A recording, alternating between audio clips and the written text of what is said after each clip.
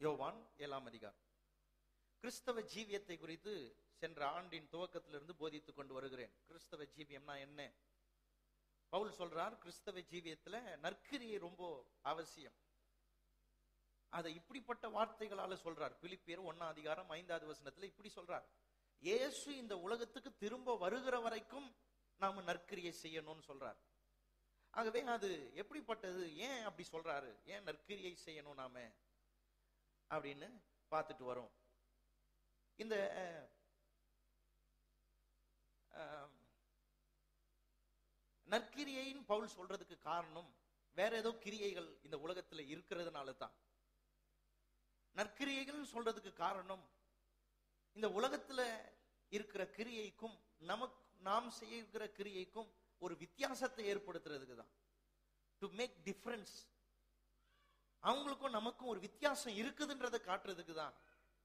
கிறிஸ்தவர்கள் நாமும் இந்த உலகத்தாருக்கும் கிறிஸ்துவை ஏற்றுக்கொள்ளாதவர்கள் அறியாதவர்களுக்கும் ஒரு வித்தியாசம் இருக்குதுன்னு காட்டுறதுக்காகத்தான் அந்த மாதிரி சொல்றார்.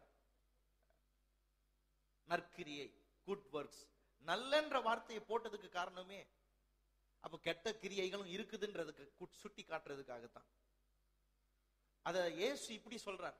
வேதத்துல நிறைய கிரியைகள் இருக்கிறது. எடுத்து சொல்லப்பட்டிருக்கிறது. அதுல ஒரு கிரியை என்னன்னா பொல்லாத கிரியை.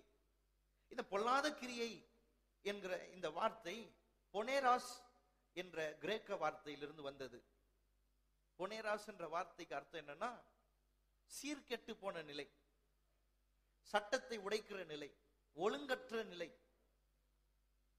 ஆஹ், துர்க்குணம் நிறைந்த நிலை. தேவ கோபத்துக்கு ஆளான நிலை கடவுளுடைய கோபத்துக்கு ஆளான நிலை. சரி இந்த உலகத்தை என்னதான் பண்ணலாம்? இந்த பொல்லாத நிலையை என்னதான் பண்ணி இது சரி பண்ணலாம்னா இதை அழிச்சு மட்டும் தான் போட முடியும் வேற எதுவும் பண்ண முடியாது. அதுதான் இந்த பொனேராசுன்ற வார்த்தை மரணத்துக்கு பாத்திரமான நிலை. அதுதான் இந்த பொல்லாத உலகத்தை உலக பொல்லாத கிரியைக்கு பொல்லாதன்ற வார்த்தைக்கு அர்த்தம் என்னன்னா இதை அழிச்சு மட்டும் தான் போட முடியும். கடவுள் இதை பார்த்து இதை சரி பண்ணணும்னு நினைச்சா அழிச்சு தான் போடணும். வேற வழி இல்லை. சரி இது பொல்லாத உலகம் பொல்லாத கிரியை நிறைந்த உலகம். இது பொல்லாதது அப்படின்னு எப்படி சொல்றோம்? எதை வச்சு சொல்றோம்? இது பொல்லாத உலகம்னு. யோவான் ஏழாம் அதிகாரம் ஏழாவது வசனத்துல இயேசு இப்படியா சொல்றார். உலகம் உங்களை பகைக்க மாட்டாது. அதன் கிரியைகள் பொல்லாதவைகளா இருக்கிறது என்று நான் சாட்சி கொடுக்கிறபடியினாலே அது என்னை பகைக்கிறது. இயேசு சொல்றாரு ஓ அதன் கிரியைகள் பொல்லாதவைகளா இருக்கிறது. நான் சாட்சி கொடுக்கிறேன். சாட்சி சொன்னேன்னு சொல்ல சாட்சி கொடுக்கிறதுனால உலகம் பகைக்கிறது. இயேசு இந்த உலகத்துக்கு வந்து மனுஷனா வந்தது எவ்வளவு அவசியம்னா இந்த உலகத்துல மனுஷன் போயிட்டு இருக்கிற வாழ்க்கை வாழ்ந்துட்டு இருக்கிற வாழ்க்கை சரின்னு நினைச்சு வாழ்ந்துட்டு இருக்கிறான் அது தான் தலையெழுத்து தான் தலை விதி தான் போயிட்டு இருக்கிறது சரி தான் செய்யறது சரி அப்படின்னு வாழ்ந்துட்டு இருக்கிறான் அதனால எதையும் செய்யறான். பாருங்க ஹிட்லர் எல்லாம் பாருங்க அதுக்கு முன்னாடி வாழ்ந்த எவ்வளவு பெரிய பெரிய ஆட்கள்லாம் சரித்திரத்துல கொன்னு கொண்டு போட்டாங்க பாருங்க. பல லட்சம் ஜனங்களை கொன்னே போட்டாங்க. என்ன மனநிலையில செஞ்சிருப்பாங்க அது? தான் செய்யறது சரி. உயிர்களை கொன்னே போட்டாங்க பாருங்க அழிச்சே போட்டாங்க பாருங்க ஒடுக்குனாங்க பாருங்க கஷ்டப்படுத்தினாங்க ஜனங்களெல்லாம். ஏன்னா தான் செய்யறது சரின்ற மனநிலையில இருந்தாங்க. இயேசு இந்த உலகத்துக்கு வரும்பொழுது ஒரு மனுஷன் வந்து வாழ்ந்து காட்டிட்டார். எப்படி வேணாலும் வாழலாம் என்ன வேணா செய்யலாம் இப்படிலாம் வாழலாம் அப்படிலாம் வாழலாம்னு இருக்கிற இந்த உலகத்துல இயேசு வந்து இதுக்காகத்தான் வந்தேன். இதுக்காகத்தான் நான் இந்த உலகத்துக்கு வந்தேன் அப்படின்னு சொல்லி அன்பையும் கிருபையும் இரக்கத்தையும் நற்கிரியையும் செஞ்சு வாழ்ந்தார். இந்த ஒரு மனுஷன் வந்து வாழ்ந்து எக்ஸ்போஸ் பண்ணிட்டார் சின்ன. பாவத்தை எக்ஸ்போஸ் பண்ணிட்டார். இவர் வராம இருந்திருந்தா நாம் என்ன நினைச்சிருப்போம்? இதெல்லாம் வாழ்க்கையின் ஒரு பகுதி. அறுபது வயசு வரைக்கும் செய்வோம் அதுக்கப்புறம் அடங்கிடுவோம். அப்புறமா ஆடி அடங்கிடுவாங்க. இந்த மாதிரிலாம் இருக்கிற வரைக்கும் லைஃப்பை என்ஜாய் பண்ணிக்கணும். அப்புறம் கிடைக்காது வாய்ப்பு. அப்படிலாம் சொல்லி இந்த உலகம் வாழ்ந்து இருக்குது ஆனா என்றைக்கு இயேசு வந்தாரோ வாழ்ந்து காட்டிட்டார் சாட்சி கொடுத்துட்டார் என்ன? மனுஷன் இதுக்காக பிறக்கல. எப்படி வேணாலும் வாழலாம்ன்றது மனுஷ வாழ்க்கை இல்லை. மிருகம் கூட இப்படிதான் வாழணும்னு வாழ்ந்துன்னு இருக்குது எப்படி வேணாலும் வாழலான்றது மனுஷனுடைய வாழ்க்கை இல்லை. இப்படிதான் வாழணும். ஒரு நோக்கத்துக்காக வாழணும்னு சொல்லி இந்த உலகத்துல வந்து வாழ்ந்து காட்டிட்டார். வாழ்ந்து காட்டினது மாத்திரம் இல்ல இவர் ஒரு எக்ஸ்போஸ் பண்ணிட்டார். உலகம் பாவத்துல கிடக்குது. அநியாயம் நிறைந்த உலகம். அக்கிரமம் நிறைந்த உலகம். இது ஒரு பொல்லாத உலகம் அப்படின்னு தானே வெளிப்படுத்தி காட்டிட்டார். அவர் அப்படி காட்டலனா நாம இந்த உலகம் தான் உண்மையான உலகம் நம்பியிருப்போம். இதுதான் உண்மையான வாழ்க்கை நம்பியிருப்போம். இந்த பொல்லாத வா- உலகம் பொல்லாத வாழ்க்கை தான் இந்த பொல்லாத கிரியைகள் தான் நிஜமான கிரியை. இதுதான் சரியானதுன்னு நினைச்சிருப்போம். ஆனா இயேசு இந்த உலகத்துக்கு வந்து வாழ்ந்ததுனால தான் விளங்குது. இதுதான் வாழ்க்கை அது இல்ல வாழ்க்கை. இயேசு வாழ்ந்தாரு அதுதான் வாழ்க்கை. இயேசு எப்படி வாழ்ந்து காட்டினாரோ அப்படிதான் ஒவ்வொருத்தரும் பிறந்து வாழ்ந்து காட்டணும். இயேசு எப்படி இந்த உலகத்துக்கு ஒரு பெரிய எடுத்துக்காட்டா வாழ்ந்து காட்டினாரோ அவரை போலவே வாழ்றதுக்காகத்தான் நீங்களும் நானும் பிறந்திருக்கிறோம் அப்படின்னு இயேசு ஒரு பெரிய வித்தியாசத்தை காட்டியிருக்கிறார். யோவான் மூணாம் அதிகாரத்துல இப்படி சொல்றார். யோவான் மூணாம் அதிகாரம். யோவான் மூணு பத்தொன்பது ஒளியானது உலகத்திலே வந்திருந்தும் இயேசு தன்னை தான் வந்த வந்திருக்கிறத சொல்றாரு. அப்படி சொல்லும் போது இப்படி சொல்றார். The light came into the world தன்னை வெளிச்சம் சொல்றாரு பாருங்க. உலகத்துக்கு வெளிச்சமா வந்திருக்கிறாராம். உலகத்திலே ஒளியானது வந்து தாம் பிறப்ப சொல்றாரு. நான் வந்திருக்கிறேனே. வந்து என்ன செஞ்சிருக்காராம்? மனுஷருடைய கிரியைகள் பொல்லாதவை. மனுஷன் தப்பு பண்றான்றதை அவர் சொல்லி காட்டுறார். எப்படி இத விவரிக்கிறதுனா லைட் போட்ட பிறகு இருட்டில். எல்லாம் தெளிவா தெரியுது. எங்க குறை இருக்குது எங்க தப்பு இருக்குது எங்க சரி பண்ணணும் என்ன பிரச்சனை? லைட்டை ஆன் பண்ணாது. ஒரு கும் இருட்டு. இந்த இடத்துல இப்போ திடீர்னு ஒரு கும் இருட்டு. வெளிச்சமே இல்லை. என்ன பண்ணுவோம்? கொஞ்சம் கற்பனை பண்ணி பாருங்க என்ன பண்ணுவோம்? எல்லாரும் எழுந்து வெளியே போவோம்னு சொல்றேன் கும் இருட்டுல. கண் திறந்து பார்த்தா ஒண்ணுமே பார்க்க முடியல. இந்த இருட்டுல எல்லாரும் வெளியில இருந்து போவோம்னு சொல்றேன். என்ன பண்ணுவோம்? ஒருத்தர் ஒருத்தர் மெரிச்சு ஒருத்தர் இடிச்சு ஒருத்தரை தள்ளி வெளியில போறேன்ட்டு முன்னாடி வந்து சைடில் போய் இடிச்சுக்கிட்டு எங்கெங்கயோ போய் என்னென்ன போய் இடிச்சுக்குவோம். திடீர்னு வெளிச்சம் வருது. அப்ப தெரியும் ஐயோ நம்ம நிக்கிற டைரக்ஷனே தப்பு. நம்ம போயின்னு இருக்கிற வழியே தப்பு. பின்னாடி போறேன்ட்டு முன்னாடி வந்து நிக்கிறேனே. ஐயோ மெரிச்சிட்டேனே. கீழே விழுந்து கிடக்குறேனே. வெளிச்சம் போட்ட பிறகு அந்த இருட்டுல ஒரு பிரகாசம் வந்த பிறகு தெரியுது தவறெல்லாம். அதைத்தான் இயேசு சொல்றாரு. நான் ஒளியா இந்த உலகத்துக்கு வந்திருக்கிறேன். வந்திருக்கிறது. எப்படி வந்திருக்கிறாராம் உலகத்தின் கிரியைகள் பொல்லாதது என்பதை காண்பிக்கிறது எவ்வளவு பேர் எவ்வளவு பேர் இந்த உலகத்துக்கு வந்தாங்க? யாருமே காண்பிக்கல. யாருமே இதை சொல்லல. ஆனா இயேசு வந்த பிறகுதான் விளங்குச்சு. அதனாலதான் பாருங்க ஒரு மனுஷன் இயேசு கிட்ட வரணும். கோயிலுக்கு வந்தா போதாது. ஒரு மனுஷன் ஒரு போதகர் கிட்ட போனா போதாது. இயேசு கிட்ட வரணும். ஏன்? இயேசு கிட்ட வரும்போது அவனுடைய நிலை அவனுக்கே விளங்கும். ஏன் பிரசங்கத்தை கேட்கணும்? ஏன் போதனையை கேட்கணும்? ஏன் இந்த மாதிரிலாம் போதிக்கிறோம்? அன்னைக்கு கூட வந்து சாம் பாஸ்டர் சொன்னார் பாருங்க. ஏன் போதிக்கிறோம்? ஏன் இந்த மாதிரிலாம் பிரசங்கம் பண்றோம்? எங்க வேலை என்ன? எதுக்காக இதெல்லாம் செய்யறோம் ஏன் வேதத்தை எடுத்து இதெல்லாம் ஏன் விலைக்கு சொல்றோம்? என்ன அவசியம்? இதை வச்சு என்ன செய்யறாரு கர்த்தர்? போன வாரம் நான் பேசியிருக்கிறேன் பாருங்க. முதல் ஆராதனையில பேசியிருக்கிறேன். நீங்க வாங்கி கேட்டு பாருங்க. உங்களுக்கு பிரயோஜனமா இருக்கும். ஒரு பிரசங்கத்தை ஏன் கேட்கிறோம்? நான் யாருன்றது விளங்குறதுக்கு தான் நான் இன்னைக்கு எப்படி இருக்கிறேன்றதை விளங்குறது. ஏன் டாக்டர் கிட்ட போறோம்? டாக்டர் கிட்ட போனோம்னா டாக்டர் என்ன சொல்றாரு? சில டாக்டர்கள் ஒரு மாதிரி. ஆனா அதிகமான டாக்டர்கள் என்ன சொல்றாங்க? இதை செக் பண்ணு அதை செக் பண்ணு இதை டெஸ்ட் எடு அந்த டெஸ்ட் எடுத்துட்டு வா. இந்த டெஸ்ட் எடுத்துட்டு வா. இப்பெல்லாம் பாருங்க எல்லாமே டெஸ்ட் எடுத்து தான் செக் பண்றாங்க. ஜோரானா கூட இப்ப டெஸ்ட் எடுக்கிறாங்க. ஏன் டெஸ்ட் எடுக்கிறாங்க? உண்மை அப்பதான் விளங்குது. கொண்டு வந்து அந்த எக்ஸ்ரேவை வெளிச்சத்துக்கு முன்ன வச்சு கொண்டு வந்து அதை வச்ச பிறகுதான் விளங்குது. அங்க குறை இருக்கிறது வெறும் குறையை மட்டும் கண்டுபிடிக்கிறதுக்காக எக்ஸ்ரே எடுத்தோம். அதுக்கு மட்டுமா ஸ்கேன் எடுத்தோம். அதுக்காகவா ரிப்போர்ட் எடுத்தோம். அதுக்காகவா டெஸ்ட் எடுத்தோம். எதுக்கு எடுத்தோம்? மருந்து இருக்குது. ஆனா என்ன பிரச்சனைன்னு தெரிஞ்சாதானே அந்த மருந்து யூஸ் பண்ண முடியும். மருந்து இருக்கிறதுனால எடுத்து போட்டுக்க போறது இல்லை என்ன பிரச்சனை? என்ன பிரச்சனைன்னு கண்டுபிடிக்கணுமே. அப்போ வெளிச்சத்துல கொண்டு போய் நிறுத்தினா தானே தெரியுது. அதான் இயேசு சொல்றாரு. வருத்தப்பட்டு பாரம் சுமக்கிறவர்களே நீங்கள் வாருங்கள் இலைப்பாறுதல் தரன்றார். சொல்றாரு நிம்மதியை தரவா ஆனா நிம்மதி எப்ப தருவாரு? ஏன் இந்த வருத்தம்? ஏன் இந்த பாரம் தெரிஞ்சாதானே எனக்கு நிம்மதி தேவை? இல்லைன்னா நான் திரும்பவும் நிம்மதியை விட்டுட்டு போய் திரும்பவும் வருத்தத்துல போயிடுவேன். திரும்பவும் பாரத்துல போய் உட்காந்துக்குவேன் திரும்பவும் என் மேல பாரம் திரும்பவும் என் மேல வருத்தம் வந்துடும் ஏன் இந்த வருத்தம் எனக்கு வருது? ஏன் இந்த பாரம் எனக்கு வருது? அதைத்தான் இயேசு எனக்கு வெளிச்சம் போட்டு காட்டுறார். வெளிச்சம் போட்டு காட்டுனாதான் விளங்கும். அப்ப இந்த உலகம் பொல்லாததா இருக்குதுன்றத நாம விளங்கிக்கணும். ஏன் விளங்கிக்கணும்?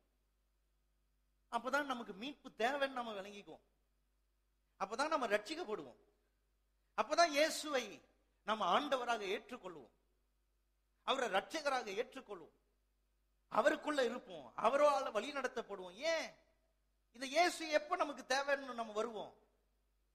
என் நிலை எனக்கு என்னன்னு தெரிஞ்சா வருவோம். ஏன் டாக்டர் கிட்ட அடுத்த வாரமும் போறோம்? அவர்கிட்ட என் பிரச்சனைக்கு மருந்து இருக்குன்னு தெரிஞ்சா அடுத்த வாரமும் போவோம். ஏன் வார வாரம் வரும்? என் பிரச்சனைக்கு அவர்கிட்ட மருந்து இருக்கு? சிலர்லாம் என்ன வச்சிருக்காங்க தெரியுமா? ஃபேமிலி டாக்டர் ஃபேமிலிக்கு அவர் தான் டாக்டர் என் ஃபேமிலியில யாருக்கு வியாதி வந்தாலும் அவர் தான் அதுக்கு டாக்டர்னு வச்சிருக்கிறோம். ஏன்? எங்க பிரச்சனைக்கு அவர்கிட்ட என்ன இருக்கு? சொல்லுங்க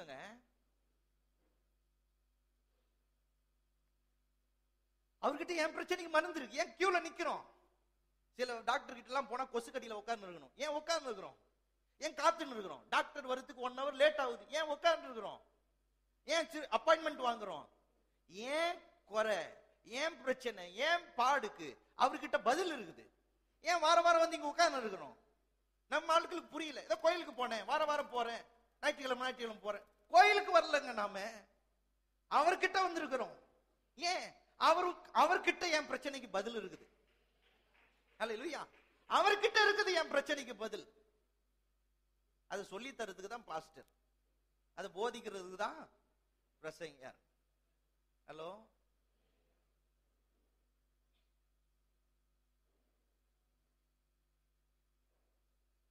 இதை செய்யணும் பிரசங்கர் எந்த கோயிலுக்கு போனாலும் இதை எதிர்பாருங்க. பிரச்சனைக்கும் பிரச்சனையும் பதிலும் சொல்லித்தரப்படுதா எதையோ போய் கேட்டுட்டு போயிட்டே இருக்கிறீங்களா? இல்ல சும்மா வந்து உட்கார்ந்துட்டு போயிட்டே இருக்கிறீங்களா? இப்ப கடைசி வரைக்கும் தெரியாது. வருத்தம்னா என்ன தெரியாது? ஏன் ஏன் வருத்தப்படுறீங்கன்னு தெரியாது? ஏன் பாரத்தை சுமந்துட்டு இருக்கீங்க தெரியாது? இதுக்கு இலைப்பாறுதல் யார்கிட்ட இருக்குன்னு தெரியாது? இப்ப கடைசி வரைக்கும் நம்ம வருத்தத்தோட தான் இருப்போம். என் பிரச்சனை யாருக்குமே தெரியாது. இல்லையே உன் பிரச்சனையை அறிகிற அறிகிறதுக்கு ஒருத்தர் இருக்கிறாரே. அவர் உன்னை விசாரிக்கிறவரா இருக்கிறாருன்னு வேதம் சொல்லுது. ஆனா நீ அவரை வந்து அறிந்து கொள்ளல. அதுதான் பிரச்சனையே. அப்போ இந்த பொல்லாத உலகத்துல நாம் இருக்கிறோன்றத தெரிஞ்சாதான் நாம் இதுல இருந்து வெளியில வரணும்ன்றது தோணும். தோன்றது மாத்திரம் இல்ல இந்த பொல்லாத உலகத்துல இருக்கிற எனக்கு மீட்பர் இருக்கிறார். அந்த மீட்பர் இடத்துல நான் வந்து அந்த மீட்பை நாம் பெற்றுக்கொள்ளணும்ன்றது நமக்கு தெரியும்.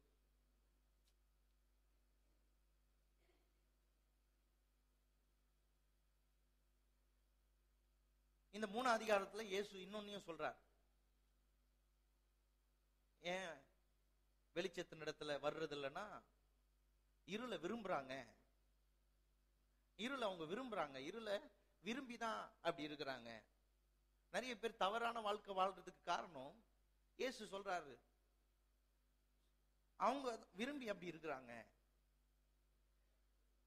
இன்னொன்னையும் சொல்றாரு பகைச்சிட்டு தான் அப்படி இருக்கிறாங்க. என்ன பகைச்சிட்டு தான் அப்படி இருக்கிறாங்க? என்னை ஏற்றுக்கொண்டா அவங்க மாறுவாங்க. ஆனா என்னை பகைச்சிட்டு தான் அப்படி உட்கார்ந்துட்டு இருக்கிறாங்க. என்னை பகைக்கிறாங்க அதான் அவங்க வாழ்க்கை அப்படி இருக்குது அப்படின்னு சொல்றேன். ஏன் இன்னைக்கு நிறைய குடும்பங்கள்லாம் பாருங்க ஏன் சீர்படல? ஏன் சிலருக்கெல்லாம் கல்யாணம் பண்ணாம இருக்கிறது கூட நல்லதுன்னு தோணுது. ஏன் பண்ண பண்ணாம இருந்திருக்கலாம்னா கல்யாணம் ஆகி பிள்ளைய பெத்து பிள்ளைக்கு பல் கல்யாணம் பண்ணி வச்சுட்டு கூட இன்னும் திருந்தாம இருக்கிறாங்க நிறைய பேர். ஏன்னா அவங்களுக்குள்ள அந்த ஏற்றுக்கொள்ற பக்குவம் இல்லை. இந்த ஏற்றுக்கொள்கிற பக்குவம் இல்லாததுனால தங்களுடைய தங்களுக்கு வெளிச்சம் தேவைன்னு அந்த வெளிச்சம் போட்டு காட்ட அவங்களுக்கு விருப்பம் இல்லை. இப்போ சிலர்லாம் டாக்டர் கிட்ட நான் போக மாட்டேன்னு இருக்கிறாங்க. அவங்களுக்கு இன்னும் விசுவாசம் இருக்குதுன்னா அர்த்தம் கிடையாது. டாக்டர் எங்க தம் கொ- தனக்கு என்ன வியாதின்னு சொல்லிடுவாரோன்னு ஒரு பயம். நிறைய பேர் அப்படிதான். நானும் டாக்டர்கிட்டயே போக மாட்டேன். தெரியும் நீ டாக்டர்கிட்ட ஏன் போக மாட்டேன்? டாக்டர் யார் உண்டாக்குனது? கர்த்தர் உண்டாக்குனாரு. எதுக்கு உண்டாக்குனாரு? உன் பிரச்சனை என்னன்னு சொல்றதுக்கு. அவர் மருந்து தராரோ இல்லையோ? உன் பிரச்சனை என்னன்னு சொல்றதுக்கு. ஆனா பிரச்சனை என்னன்னு இவர் சொல்லிட்டு இவர் ஒருவேளை உனக்கு குணத்தை தராம இருக்கலாம். ஆனா பிரச்சனையை கண்டுபிடிச்ச நீ பதில் பதிலும் ஒருத்தர் கிட்ட இருக்குது. அந்த பதில் ஒருவேளை மனுஷன் உனக்கு தராம இருக்கலாம். ஆனா மனுஷனை உண்டாக்கின கர்த்தர் அவர் உனக்கு தருவார். அதனால டாக்டர் கிட்ட போறது நல்லது. அது எடுக்கிற ஃபர்ஸ்ட் ஸ்டெப் ஆனா சிலர்லாம் பாருங்க நான் திருந்த மாட்டேன் நான் அப்படியே தான் இருப்பேன்னு இருக்கிறாங்க. அப்போ அந்த மாதிரி ஆட்களுக்கு வாழ்க்கையில சமாதானம் வர்றது ரொம்ப கஷ்டம். கணவன் வந்து மாறணும் மனைவி மாறணும் ஒத்துக்கணும் தங்க குறைய ஒத்துக்கணும். அப்படி ஒத்துக்கும் போது என்ன ஆகும்னா அங்க சுமூக நிலை ஏற்படும். ஒத்- அங்க ஒத்து போகும்போது அதான் இயேசு சொல்றார். ஏன் இவங்கெல்லாம் வந்து அப்படியே இருக்கிறாங்க? ஏன் இந்த உலகத்துல நிறைய பேர் இன்னும் அப்படியே இருக்கிறாங்கன்னா? பகைச்சிட்டு இருக்கிறாங்க. மனச கல்லாக்கிட்டு இருக்கிறாங்க. இன்னொன்னையும் சொல்றாரு. விரும்பிதான் அதை செய்யறாங்க அவங்க என்னவோ தெரியாம போய் அதுல இருக்கிறாங்கலாம் கிடையாது. தினமும் காசு அதுக்கு செலவு பண்ணினே இருக்கிறாங்க. தினமும் அதுக்காக கொஞ்சம் உட்கார்ந்து சிந்திக்கிறாங்க. ஞாயிற்றுக்கிழமை ஞாயிற்றுக்கிழமை ஆனா மனசை கட்டலாக்கிக்கிறாங்க பாருங்க. கொஞ்சம் ஏத்துக்குவோம் கொஞ்சம் அக்செப்ட் பண்ணிக்குவோம். வசனம் சொல்லுது சத்தியம் சொல்லுது. ஏத்துக்க மாட்டாங்க பாருங்க. மனசை கல்லாக்கிட்டு உட்காருவாங்க. அந்த மாதிரி இயேசு சொல்றாரு. கல்லாக்கிட்டு இருக்கிறாங்க. அதுதான் பிரச்சனையே. வெளிச்சம் வந்துடுச்சு. வெளிச்சம் இந்த உலகத்துக்கு வந்து காட்டிடுச்சு. ஆனாலும் சிலர் இன்னும் இருள்ல இருக்கிறாங்களே. இதுக்கு காரணம் என்ன? அப்படின்றார். இயேசு ஒரு பெரிய ஆதாரம். இந்த உலகம் பொல்லாத உலகம் காட்டுறதுக்கு. நான் ரட்சிக்கப்படணும் அப்படின்றதுக்கு இயேசு ஒரு பெரிய உதாரணம். இயேசுவை சந்திக்கிறது தான் ரட்சிப்பு. இயேசுவை சந்திச்சிருக்கிறீர்களா? அங்கதான் உங்களுடைய ரட்சிப்பு. எப்படி இயேசு இயேசு சந்திக்கிறார் பாருங்க சகைவ அவங்கிட்ட சொல்ல நீ என்னென்னலாம் செஞ்ச உனக்கு நான் சொல்லணும் வான்னு கூப்பிடல. உன் கூட தங்கணும் வான்னார். உன் கூட நான் தங்கணும்னு தான் சொன்னார். இந்த இதைத்தான் சொன்னார் பாருங்க. அவன் அவ்வளவு பாவத்தையும் விட்டான். அவனுக்குள்ள புரிஞ்சிச்சு. இவர் கூட கொஞ்ச நேரம் தான் செலவு பண்ணா அவனுக்கு அப்பவே விளங்குச்சு. ஐயோ நம்ம எவ்வளவு பெரிய தப்பு பண்ணின்னு வாழ்ந்துட்டு இருக்கிறோம். எவ்வளவு தவறா வாழ்ந்துட்டு இருக்கிறோன்றது விளங்குச்சு. சொல்றான் அநியாயமா வாழ்ந்துட்டாண்டவரே ஏழைகள் எல்லாம் கஷ்டப்படுத்திட்டாண்டவரே என் சொத்தெல்லாம் அதை கொடுத்துடுறேன். நான் கொடுத்துடுறேன். நான் அநியாயம் செஞ்சிட்டேன்றத ஒத்துக்கிட்டான். எப்போ ஒத்துக்கிட்டான்? இயேசு லிஸ்ட் போட்டு காட்டினாரா? அந்த தெருல இந்த ஏழை கிட்ட எவ்வளவு கஷ்டப்படுத்தின தெரியுமா? இந்த ஏழை கிட்ட எவ்வளவு வாங்கின தெரியுமா? சொன்னாரா? கிடையாது. ஒண்ணும் இல்ல. அவர் கூட இருந்த போதே விளங்கிடுச்சு. அதனாலதான் பாருங்க இந்த வெளிச்சம் வேற மாதிரி வெளிச்சம். இந்த வெளிச்சம் என்ன? எல்லாருக்கும் முன்ன யார் யார் என்னென்ன செஞ்சாங்கன்னு சொல்ற வெளிச்சம் கிடையாது. அவர் அவருக்குள்ள அற்புதமா விளங்க செய்யறார் அவரே செய்யறாரு பாருங்க நமக்குள்ள நம்முடைய நிலையை விளங்க செய்யறார் இது அருமையான ஒரு காரியம் பாருங்க. இத மனுஷன் செஞ்சானா வெட்ட வெளிச்சமாக்கிடுவான். நம்ம எதிரில் சொல்லுவான் நீ இதெல்லாம் பண்ணியிருக்கிறல்லன்னு. போன பிறகு எல்லாருக்கும் தெரிஞ்சிடும் ஏன்னா போற இடத்துல எல்லாம் சொல்லிடுவார் இவர் இப்படி பண்ணிருக்கிறார் அவர் இப்படி பண்ணியிருக்கிறார் இவரை பத்தி தெரியுமா? அப்படின்லாம் சொல்லிடுவார். ஆனா கர்த்தர் எப்படிப்பட்டவர் பாருங்க. கர்த்தர் ரொம்ப நல்லவர் பாருங்க. மனுஷன் நல்லவன் நீங்க சொன்னீங்கன்னா கர்த்தர் கோடி மடங்கு நல்லவர்.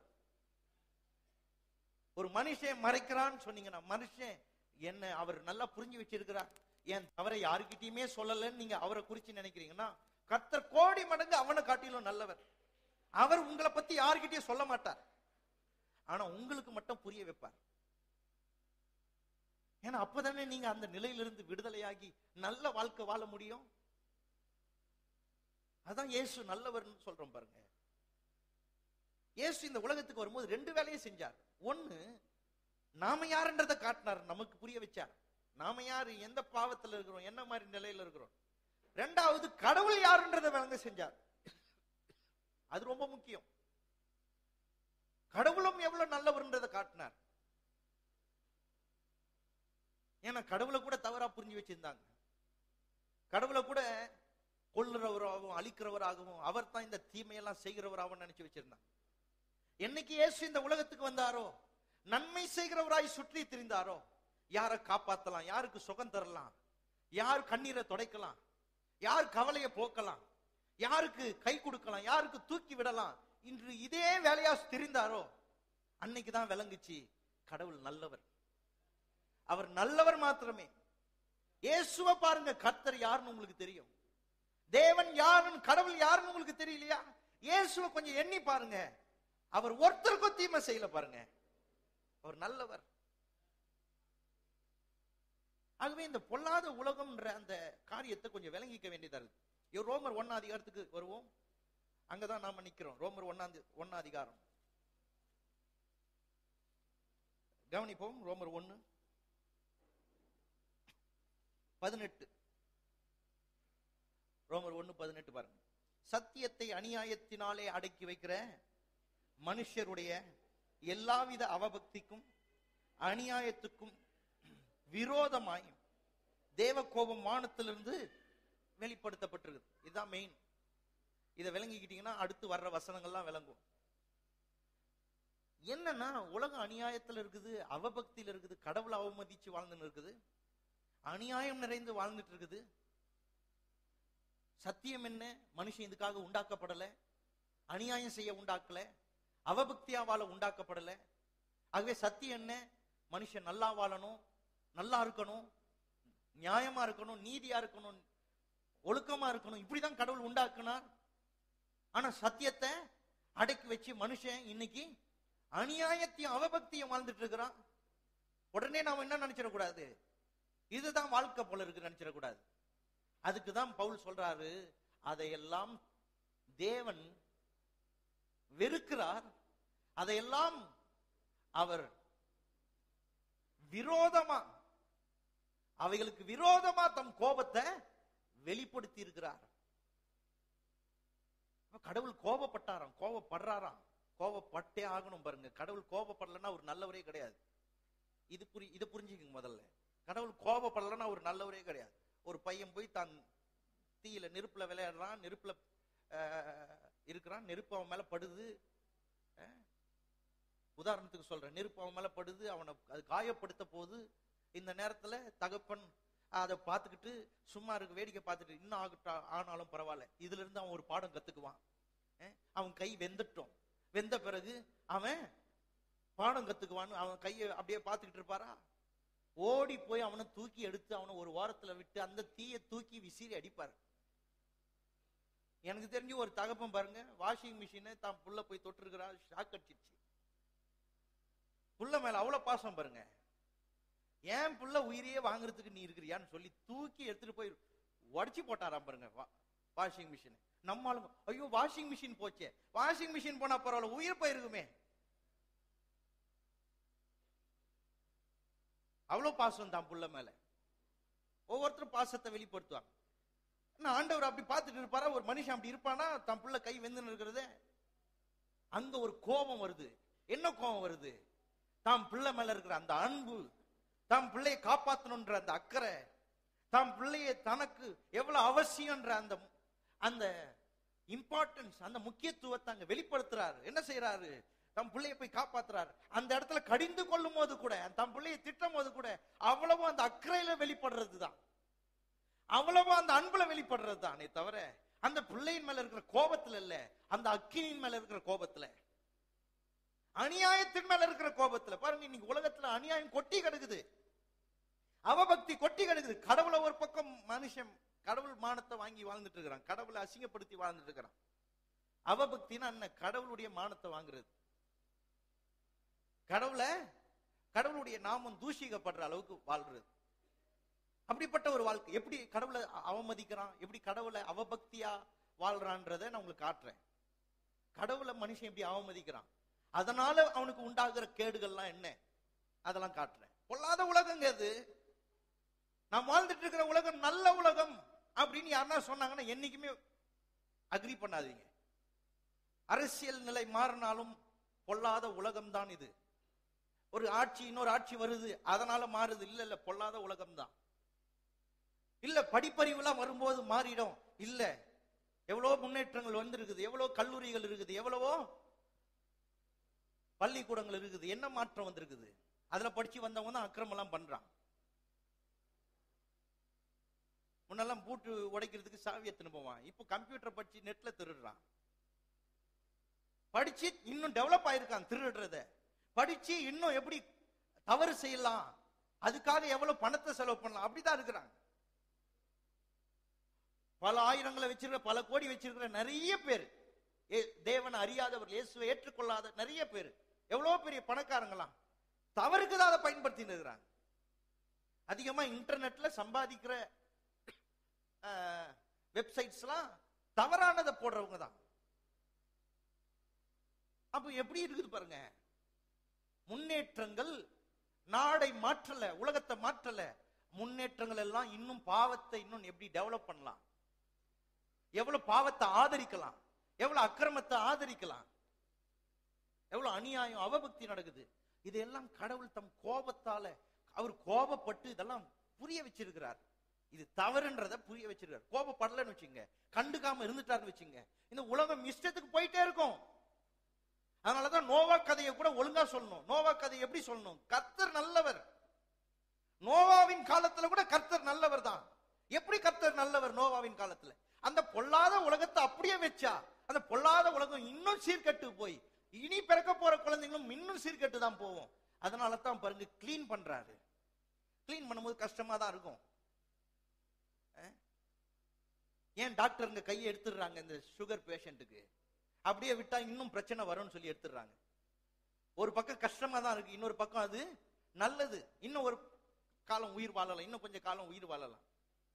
அதுக்காக கை எடுத்துறாங்க கால் எடுத்துறாங்க. ஏன் அப்படி எடுக்கிறாங்க? அதுக்காக கஷ்டம் ஒரு பக்கம் இருந்தாலும் நன்மையும் வந்துடுது அதைத்தான் நோவாவின் காலத்துல நடந்தது. ஆறாம் அதிகாரம் ஆதியாம ஆறாம் அதிகாரத்தை வாசித்து பாருங்க. உலகம் பொல்லாததா இருந்ததா சீர்கட்டு போயிருந்ததா கர்த்தர் பார்த்தாராம் இதை எப்படி சரி பண்ணலாம்? சரி பண்ணனா ஒரே ஒரு வழி தான் இருக்குது. ஒரே ஒரு வழி தான் இருக்குது. இத அழிச்சு போட்டாதான் வழி அழிச்சு போட்டாரு பாருங்க. அழிச்சு போட்டு நோவாவை கொண்டு வந்து நிறுத்தி அவன் பிள்ளைகளை கொண்டு வந்து நிறுத்தி அவங்கள பார்த்து சொல்றாரு இப்படி இனிமே நடக்காது. ஏன்னா அவர் அதை விரும்பி செய்யல. அவர் அதை வேணும்னே செய்யல. அவர் அதை கொல்லணும்னு அவங்கள உண்டாக்கி வளர்த்து விட்டு அப்புறம் கொல்லணும்னு அவங்கள வளர்த்து விடல. அவருக்குள்ள எல்லாரும் கெட்டு போவது அவருடைய சித்தம் இல்லை. ஆனா கெட்டு போயிருக்குது. இதை க்ளீன் பண்ணியே ஆகணும். க்ளீன் பண்ணி என்ன சொல்றாரு அவங்கள பார்த்து? நீங்க இதோ நீங்கள் பழுகி பெருகி பூமியை நிரப்புங்கள். நீங்கள் ஆசீர்வாதமா இருங்கள் அவங்களை திரும்ப ஆசீர்வதிக்கிறார் திரும்பவும் பெருக சொல்றார். ஏன்? கிளீன் பண்ணி இருக்கிறார் அவ்வளவுதான். சுத்தம் பண்ணி இருக்கிறார் நல்ல தேவன் சுத்தம் பண்ணி இருக்கிறார் இப்படியே விட்டா மனுக்குலம் இன்னும் சீர்கட்டு போயிடும்ன்றதுக்காகத்தான். தம்முடைய கோபத்தை கூட அவர் நல்லவர் என்பதை காட்டுறதுக்கு தான் பயன்படுத்தியிருக்காரே தவிர தம்முடைய கோபத்தை காட்டி நான் எவ்வளவு கோபம் உள்ளவர் தெரியுமா? நான் எவ்வளவு அக்- அ- பொறுக்காதவர் தெரியுமா? எவ்வளவு உன்னை தண்டிக்கிறவர் தெரியுமான்னு காட்டுறதுக்கு இல்லை. அங்க கூட அவர் மனம் வருந்துறார். தான் செஞ்சதை குறித்து அவர் மனம் வருந்துறார். சத்தியமே பண்ணி தர சொல்றார். இனிமே இதை செய்யக்கூடாதுன்னு சொல்லி வானவில்ல கொண்டு வந்து வைக்கிறார். சொல்றாரு இனிமே இந்த மாதிரி அழியறதுக்கு ஒரு காலம் ஒரு நேரம் ஏற்பட்டா அந்த வில் வந்து சொல்லும். அழிக்காதீர் அது நினைப்பூட்டோன்றார். நித்திய நித்திய உடன்படிக்கையா இருக்கும். இனிமே நான் இந்த உலகத்தை இந்த மாதிரி அழிக்க போவது இல்லைன்றார் ஏன்? அந்த அளவுக்கு அவர் வரு- வருத்தம் தெரிவிக்கிறார். இந்த மாதிரி அவருக்கு விருப்பம் இல்லை. ஆனா கிளீன் பண்ணணும். இந்த சரித்திரத்துல பல முறை தனிப்பட்ட விதத்திலையும் சரி தனிப்பட்ட விதத்திலையும் நான் பார்த்திருக்கிறேன். சரித்திரத்திலையும் பார்த்திருக்கிறேன். படிச்சிருக்கிறேன். கேள்விப்பட்டிருக்கிறேன். கடவுளுடைய கோபம் பல விதத்துல இந்த உலகத்துல வெளிப்பட்டிருக்கு. தயவு செய்து கேளுங்க. வெளிப்படுத்தப்படலைன்னா அநியாயம் எல்லாம் அ- அத்துமீறி போயிட்டே இருக்கும். அதனால பாருங்க ஆதாம் கிட்டே ஆரம்பிக்கிறார். வெளியில போன்றார். தோட்டத்தை விட்டு வெளியில போன்றார். அங்கிருந்தே ஆரம்பிக்கிறார். நம்முடைய இல்லைன்னா பாருங்க ஆதாம் எல்லாத்தையும் பண்ணிட்டு அதே தோட்டத்திலே இருக்கிறான்னு வச்சுங்களேன். அப்ப கர்த்தர் அதெல்லாம் ஒன்னு கண்டுக்காம விட்டாருன்னு அர்த்தம். இப்ப கண்டுக்காம விட்டாருன்னு அர்த்தம் என்ன? அடுத்து யார் வேணாலும் என்ன வேணா பண்ணலாம்.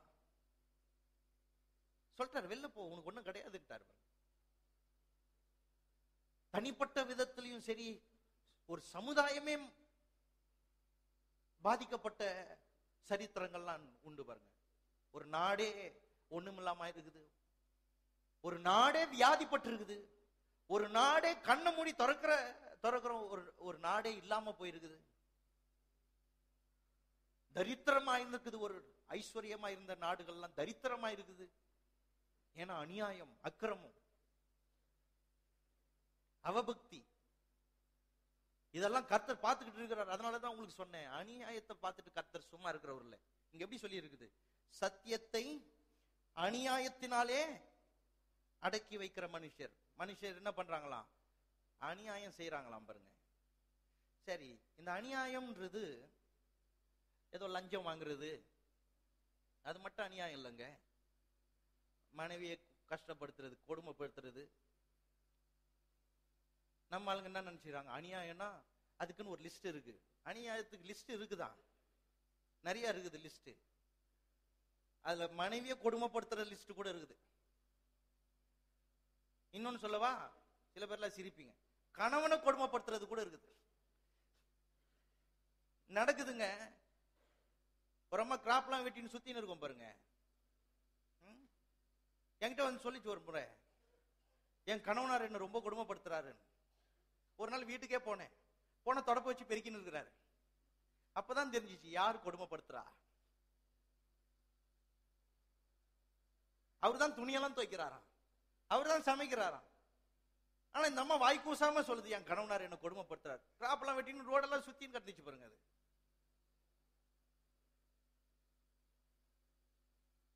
ஹலோ? கணவனை கொடுமைப்படுத்துறதுலாம் இருக்குது. ஒரு அம்மா நொண்டி நொண்டி வந்துச்சாம் பாருங்க. என்ன என்னம்மா நொண்டி வரேன்னா எட்டி உதைச்சேன் தெரியாம அவர் விலகிட்டாரு சுவர்ல பட்டிடுச்சுன்னு சாப்பாடு தராம விட்டுருவாங்க. கணவனை கொடுமைப்படுத்துறது மனைவியை கொடுமைப்படுத்துறது இன்னொன்னு சொல்லவா? பிள்ளைகள் பெற்றோரை கொடுமைப்படுத்துறது. இதெல்லாம் கூட அநியாயங்கள் லிஸ்ட்ல வருது. பிள்ளைகள் பெற்றோரை கொடுமைப்படுத்துறது. கடவுளுடைய இறக்கம் நம்ம மேல இருக்குது. நம்ம எல்லாம் கடவுளுடைய இறக்கம் பெற்றோர். இந்த கோயில்ல வந்துட்டு அந்த மாதிரி இருக்கிறீங்கன்னா கொஞ்சம் யோசிங்க. நாங்க அதெல்லாம் அப்ரூவ் பண்றது இல்லை அப்படிலாம் போதிக்கிறது இல்லை அதையெல்லாம் ஒத்து போறது இல்லை உங்களுக்கு துணை போகிறதுக்கு பிரசங்கியார்கள் போதகர்கள் கிடையாது. பாஸ்டர் நான் சொன்னாதான் கேட்பார். பாஸ்டர் உன் சொன்ன நான்லாம் கேட்க மாட்டேன். பாஸ்டர் நான் சொன்னா கேட்பார். நீ என்ன வேணா பண்ணுவ பாஸ்டர் சொன்னா கேட்பாரா? என்ன அக்கிரமம் வேணா பண்ணுவேன் உன் மனைவியை போட்டு கஷ்டப்படுத்துவேன் உன் மருமகளை போட்டு கஷ்டப்படுத்துவேன் மருமகளை கொலை இது பண்றது கூட அநியாயம்தான். ஹலோ? மாமியாருங்களுக்குலாம் இப்போ கோபம் எல்லாத்தையும் சொல்லணும். சபையில எல்லாத்தையும் சொல்லி தரணும். வேற யார் எங்க சொல்லி தரா? பள்ளிக்கூடத்துல போனவனும் இந்த மெஷின்ல இந்த ஸ்க்ரூவை போடு இதுல இதை டைட் பண்ணு அதை இதை டைட் பண்ணுன்ற. இதை மட்டும் தான் கத்துக்கிட்டு வரான். வாழ்க்கை எப்படி வாழணும்னு எங்க கத்து தராங்க? யார் கத்து தரா? நாமளும் வாயை திறந்து வீட்டுல சொல்றது இல்லை. அப்ப யார் தான் சொல்றது? அதனாலதான் பாருங்க கத்தர் போதகர்களை ஏற்படுத்தி வச்சிருக்கிறார். ஏன்னா அவர்களுக்கு கத்தர் விசேஷித்த அபிஷேகத்தையும் அதிகாரத்தையும் கொடுத்து இத திட்டமா போதிக்க வைக்கிறார். அதுக்கு தான் சபைக்கு போகணுன்றது பாருங்க. எனக்கு தெரிஞ்ச ஒரு போதகர் ரெண்டு வருஷம் வாரம் வாரம் குடும்பத்தை பத்தியே பேசினார் பாருங்க. குடும்பம்னா என்ன? எதுக்கு கடவுள் குடும்பத்தை கொடுத்திருக்கிறார்? வருங்காலங்கள்ல எல்லாம் பேசணும்னு இருக்கிறோம் பாருங்க. எதுக்காக தேவன் நம்ம குடும்பத்தை கொடுத்திருக்கிறார்? இதெல்லாம் விளங்கினாதானங்க வாழ்க்கை நல்லா வாழ முடியும். மனைவியை கொடுமைப்படுத்துறது புருஷனை கொடுமைப்படுத்துறது பிள்ளையை கொடுமைப்படுத்துறது பிள்ளைகள் பெற்றோரை கொடுமைப்படுத்துறது மாமியார் மருமகளை குடும்பப்படுத்துறது. மருமகள் மாமியாரை குடும்பப்படுத்துறது. ஒரு ஒன்னையும் விடக்கூடாதுல்ல? எல்லாத்தையும் சொல்லணும்ல? நம்ம ஆளுங்க அதுல பரவாயில்ல நமக்கு ஒரு சப்போர்ட் இருக்குது மருமகள் மாருங்களாம் நமக்கு ஒரு சப்போர்ட் கிடைச்சிச்சு. மாமியாரை கொடுமைப்படுத்துறது வயசாயிடுச்சுன்னு கொடுமைப்படுத்துறது எல்லாமே அங்கதான் வருது. அதனாலதான் சொல்றேன் இந்த சபைக்கு வந்துட்டு இவ்வளத்தையும் கேட்டுட்டு அந்த மாதிரி நடக்கிறீங்கன்னா நீங்க பெரிய தப்பு பண்றீங்க. ஏன்னா காதார கேட்டுடுறீங்களே அப்படியே சாந்தமா மூஞ்ச வச்சுக்கிறது. சாந்தமா மூஞ்ச வச்சுட்டு இந்த நடிப்புலாம் வேணா பாருங்க. கர்த்தர் அதெல்லாம் பார்த்துக்கிட்டு சும்மா இருக்கிறவர் இல்ல. அதனாலதான் சொன்னேன் அநியாயத்தை தேவன் விரோதிக்கிறார். இயேசுவே சொன்னார் பாருங்க சீக்கிரத்திலே நியாயம் செய்வார். தேவன் இந்த அநியாயத்தெல்லாம் பார்த்துக்கிட்டு சும்மா இருக்கிறவர் இல்ல. கண்டிப்பா நியாயத்துல கொண்டு வந்து நிறுத்துவார் பாருங்க. அப்பதான் ஃபீல் பண்ணுவோம் நம்ம. ஐயோ இப்படி பண்ணிட்ட இப்படி பண்ணிட்டோமே இப்படி பண்ணிட்டோமே. அதனாலதான் இந்த பொல்லாத உலகம் இந்த அநியாயம் எல்லாம் தாராளமா சரளமா தினமும் நடக்குது. இதுக்காக உட்காந்து திட்டம் போடுறாங்க இதுக்காக உட்காந்து யோசிக்கிறாங்க.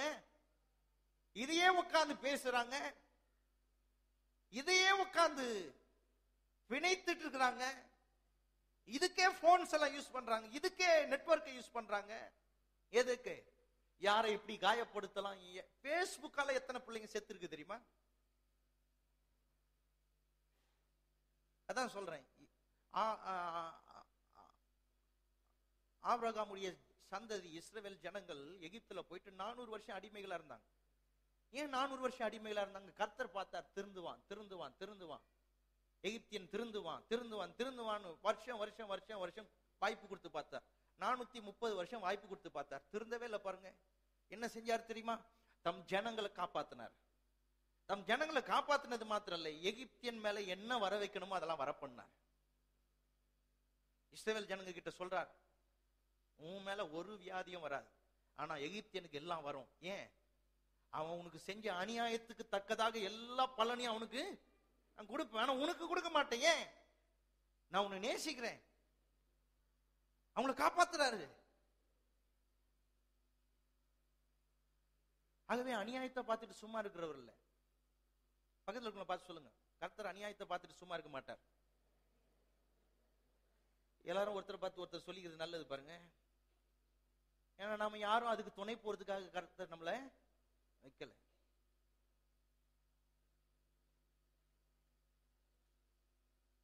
ரோமர் ஒண்ணு பாருங்க. சிலர் என்ன சொல்றாங்க? மூணு விதமான கூட்டம் இருக்குதான். ஒரு கூட்டம் என்னன்னா அடுத்த ரெண்டு வசனம் பத்தொன்பது இருபது. போன வாரத்துல உங்களுக்கு வாசிக்கார் கடவுள் இருக்கிறாரா? கடவுள் இல்லைங்க. கடவுள் இல்லை. கடவுளை எனக்கு தெரியாது. இப்படிப்பட்ட ஒரு கடவுள் இருக்கிறாரு எனக்கு தெரியாதுன்றாங்க. அதுக்கு தான் பவுல் சொல்றாரு உனக்கு போக்கு சொல்ல இருபதாவது வசனம் பாருங்க. அஹ், கடவுள் எல்லாத்தையும் உண்டாக்கி இருக்கிறார். பைபிள் தேவையில்ல இஸ்ரேல் தேசத்துக்கு போய் ஒரு கடவுள் இருக்கிறாருன்னு நீ கேட்டுட்டு வர தேவையில்ல. நீ இருக்கிற இடத்துலயே வானத்தை அண்ணாந்து பாரு. இந்த பூமியை பாரு. இதை உண்டாக்கின ஒரு தெய்வம் இருக்கிறாரு. இதை உண்டாக்குனவர் அவர் நல்லவர் நீதி உள்ளவர் அவர் நிச்சயமா நியாயம் விசாரிப்பார். இதையெல்லாம் சொல் வார்த்தை இல்லாம சொல்லக்கூடிய அளவுக்கு கர்த்தர் இந்த உலகத்தை படைச்சு வச்சிருக்கிறார். ஆகவே பவுல் சொல்றார் போக்கு சொல்ல இடம் இல்லை தப்பிக்கலாம் நினைக்காத. எனக்கு கடவுள் இப்படிப்பட்ட ஒரு கடவுள் இருக்கிறார். அநியாயத்தை பார்த்தா பொறுக்காத ஒரு கடவுள் இருக்கிறார்னு எனக்கு தெரியாது. இல்ல இல்ல இருக்கிறார். அவங்களுக்கு சொல்றார். ரெண்டாவது ஒரு கூட்டம் இருக்குது. இருபத்தி ஒன்னு. அவர்கள் தேவனை அறிந்தும் அவரை தேவன் என்று மகிமைப்படுத்தாமலும் ஸ்தோத்தரியாமலும் இருந்து தங்கள் சிந்தனைகளினாலே வீணரானார்கள். உணர்வில்லாத அவர்களுடைய இருதயம் இருளடைந்தது. என்னவா? தேவனை அறிந்தவர்கள். ஒரு கூட்டம் சொல்லுது கடவுள் இல்லைன்னு. அவங்களுக்கு சொல்றாரு கடவுள் இருக்கிறாரு. நீ தப்பிச்சுக்கலாம் நினைக்காத. சாக்கு சொல்லி தப்பிச்சிடலாம் நினைக்காத. இருக்கிறார். இன்னொன்னு சொல்றாரு அது என்ன? இன்னொரு கூட்டத்தை பத்தி சொல்றாரு. அந்த கூட்டம் கடவுள் இருக்கிறாருன்னு தெரியும். ஆனா இந்த கூட்டம் கடவுளுக்கு மரியாதையும் நன்றியும் செலுத்தாத ஒரு கூட்டம். அதான் அவபக்தி. தேவன் இருக்கிறார் தெரியும். ஆனா அவரை மகிமைப்படுத்தாத ஒரு கூட்டம். அவருக்கு நன்றி செலுத்தாத ஒரு கூட்டம். ஏன் நன்றி செலுத்தல? அதையும் சொல்றார். ஏன் நன்றி செலுத்தல? உணர்வில்லாத அவர்களுடைய இருதயம். அங்க உணர்வே இல்லை. கடவுள் தனக்கு செஞ்சதெல்லாம் நினைச்சு பார்த்தா கண்டிப்பா நன்றி சொல்லணும்னு தோணும். ஆனா அங்க உணர்வே இல்லை. அப்ப இந்த உணர்வில்லாத இடம் இருக்கு பாருங்க. அங்கதான் பிரச்சனைகள் நிறைய வருது. எனக்கெல்லாம் பாருங்க எடுத்த சொன்னவனே ஏத்துக்கவே மாட்டேன் பாருங்க. சொன்னவனே ஏத்துக்கவே மாட்டேன். எனக்கு ஒரு பத்து நிமிஷம் டைம் கொடுக்கணும். அப்ப கொஞ்சம் ஏறும். ஒரு ஒரு மணி நேரம் டைம் கொடுத்தீங்கன்னா கொஞ்சமாவது ஏறும். சில நேரத்துல ஒரு வாரம் டைம் கொடுத்தா கூட ஏறாது. அப்புறம் ஏறும். சில நேரத்துல வருஷம் கணக்கா இருக்குது ஏறல. அப்புறம் தான் ஏறுச்சு. ஐயோ எவ்வளவு பெரிய தப்பெல்லாம் பண்ணியிருக்கிறோம்.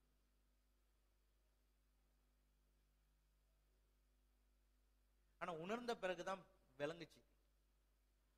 அவருடைய மன்னிப்பை பெற்றுக்கொள்ள முடிஞ்சது. உணர்ந்த பிறகுதான் முடிஞ்சது. அவருடைய அன்பு என் மேல எவ்வளவு இருக்குதுன்றது விளங்காத வரைக்கும் உணர்வு இல்லாத வரைக்கும் இருள்ல இருந்தேன். இருள்ல இருந்தேன். கண் குருள குருட்டாட்டத்துல இருந்தேன் பாருங்க. இதெல்லாம் ஏன் வெளிப்படையா சொல்றேன்னா சிலர்லாம் என்ன கிறிஸ்தவ குடும்பத்துல பிறந்துட்டா போதும் நினைக்கிறாங்க. கிறிஸ்தவ குடும்பத்துல பிறந்தாதான் இந்த பிரச்சனையே. அதுவும் சில பாரம்பரிய கிறிஸ்தவ குடும்பத்துல பிறந்துட்டா இன்னும் பிரச்சனை. என்ன பிரச்சனை? நாங்கெல்லாம் கோயில் பிள்ளையாக்கும். நாங்கெல்லாம் கோயிலுக்கு என்னென்னலாம் செஞ்சிருக்கோம் தெரியுமாக்கும்? நாங்கெல்லாம் கோயில்ல பெருக்குவோங்க ஆக்கும் நாங்கெல்லாம் கோயில் கதவை நாங்க தான் பூட்டிட்டு வருவோமாக்கும்? நாங்க தான் காலையில போய் திறப்போமாக்கும்? இப்படி எல்லாம் சொல்லி கோயில் கோயில் கோயில் கோயில் கோயில் மட்டும்தான் உனக்கு. இயேசுவே உனக்கு கிடையாது. இயேசு கிட்ட போவே இல்லை. கோயில் பிள்ளை கோயில் குட்டி கோயில். எல்லாம் கோயில் கோயில் கோயில் கோயில் தான். ஐயர் வந்தா எங்க வீட்டுக்கு தான் வருவாரு. ஃபாதர் வந்தா எங்க வீட்டுக்கு தான் வருவார். பாஸ்டர் வந்தா எங்க வீட்டுக்கு தான் வருவார். யார் வந்தாலும் இயேசு வந்திருக்காரா உன் வாழ்க்கையில? இயேசு உன் வாழ்க்கையில ஆண்டவரா இருக்கிறாரா? தேவனா இருக்கிறாரா? ஹலோ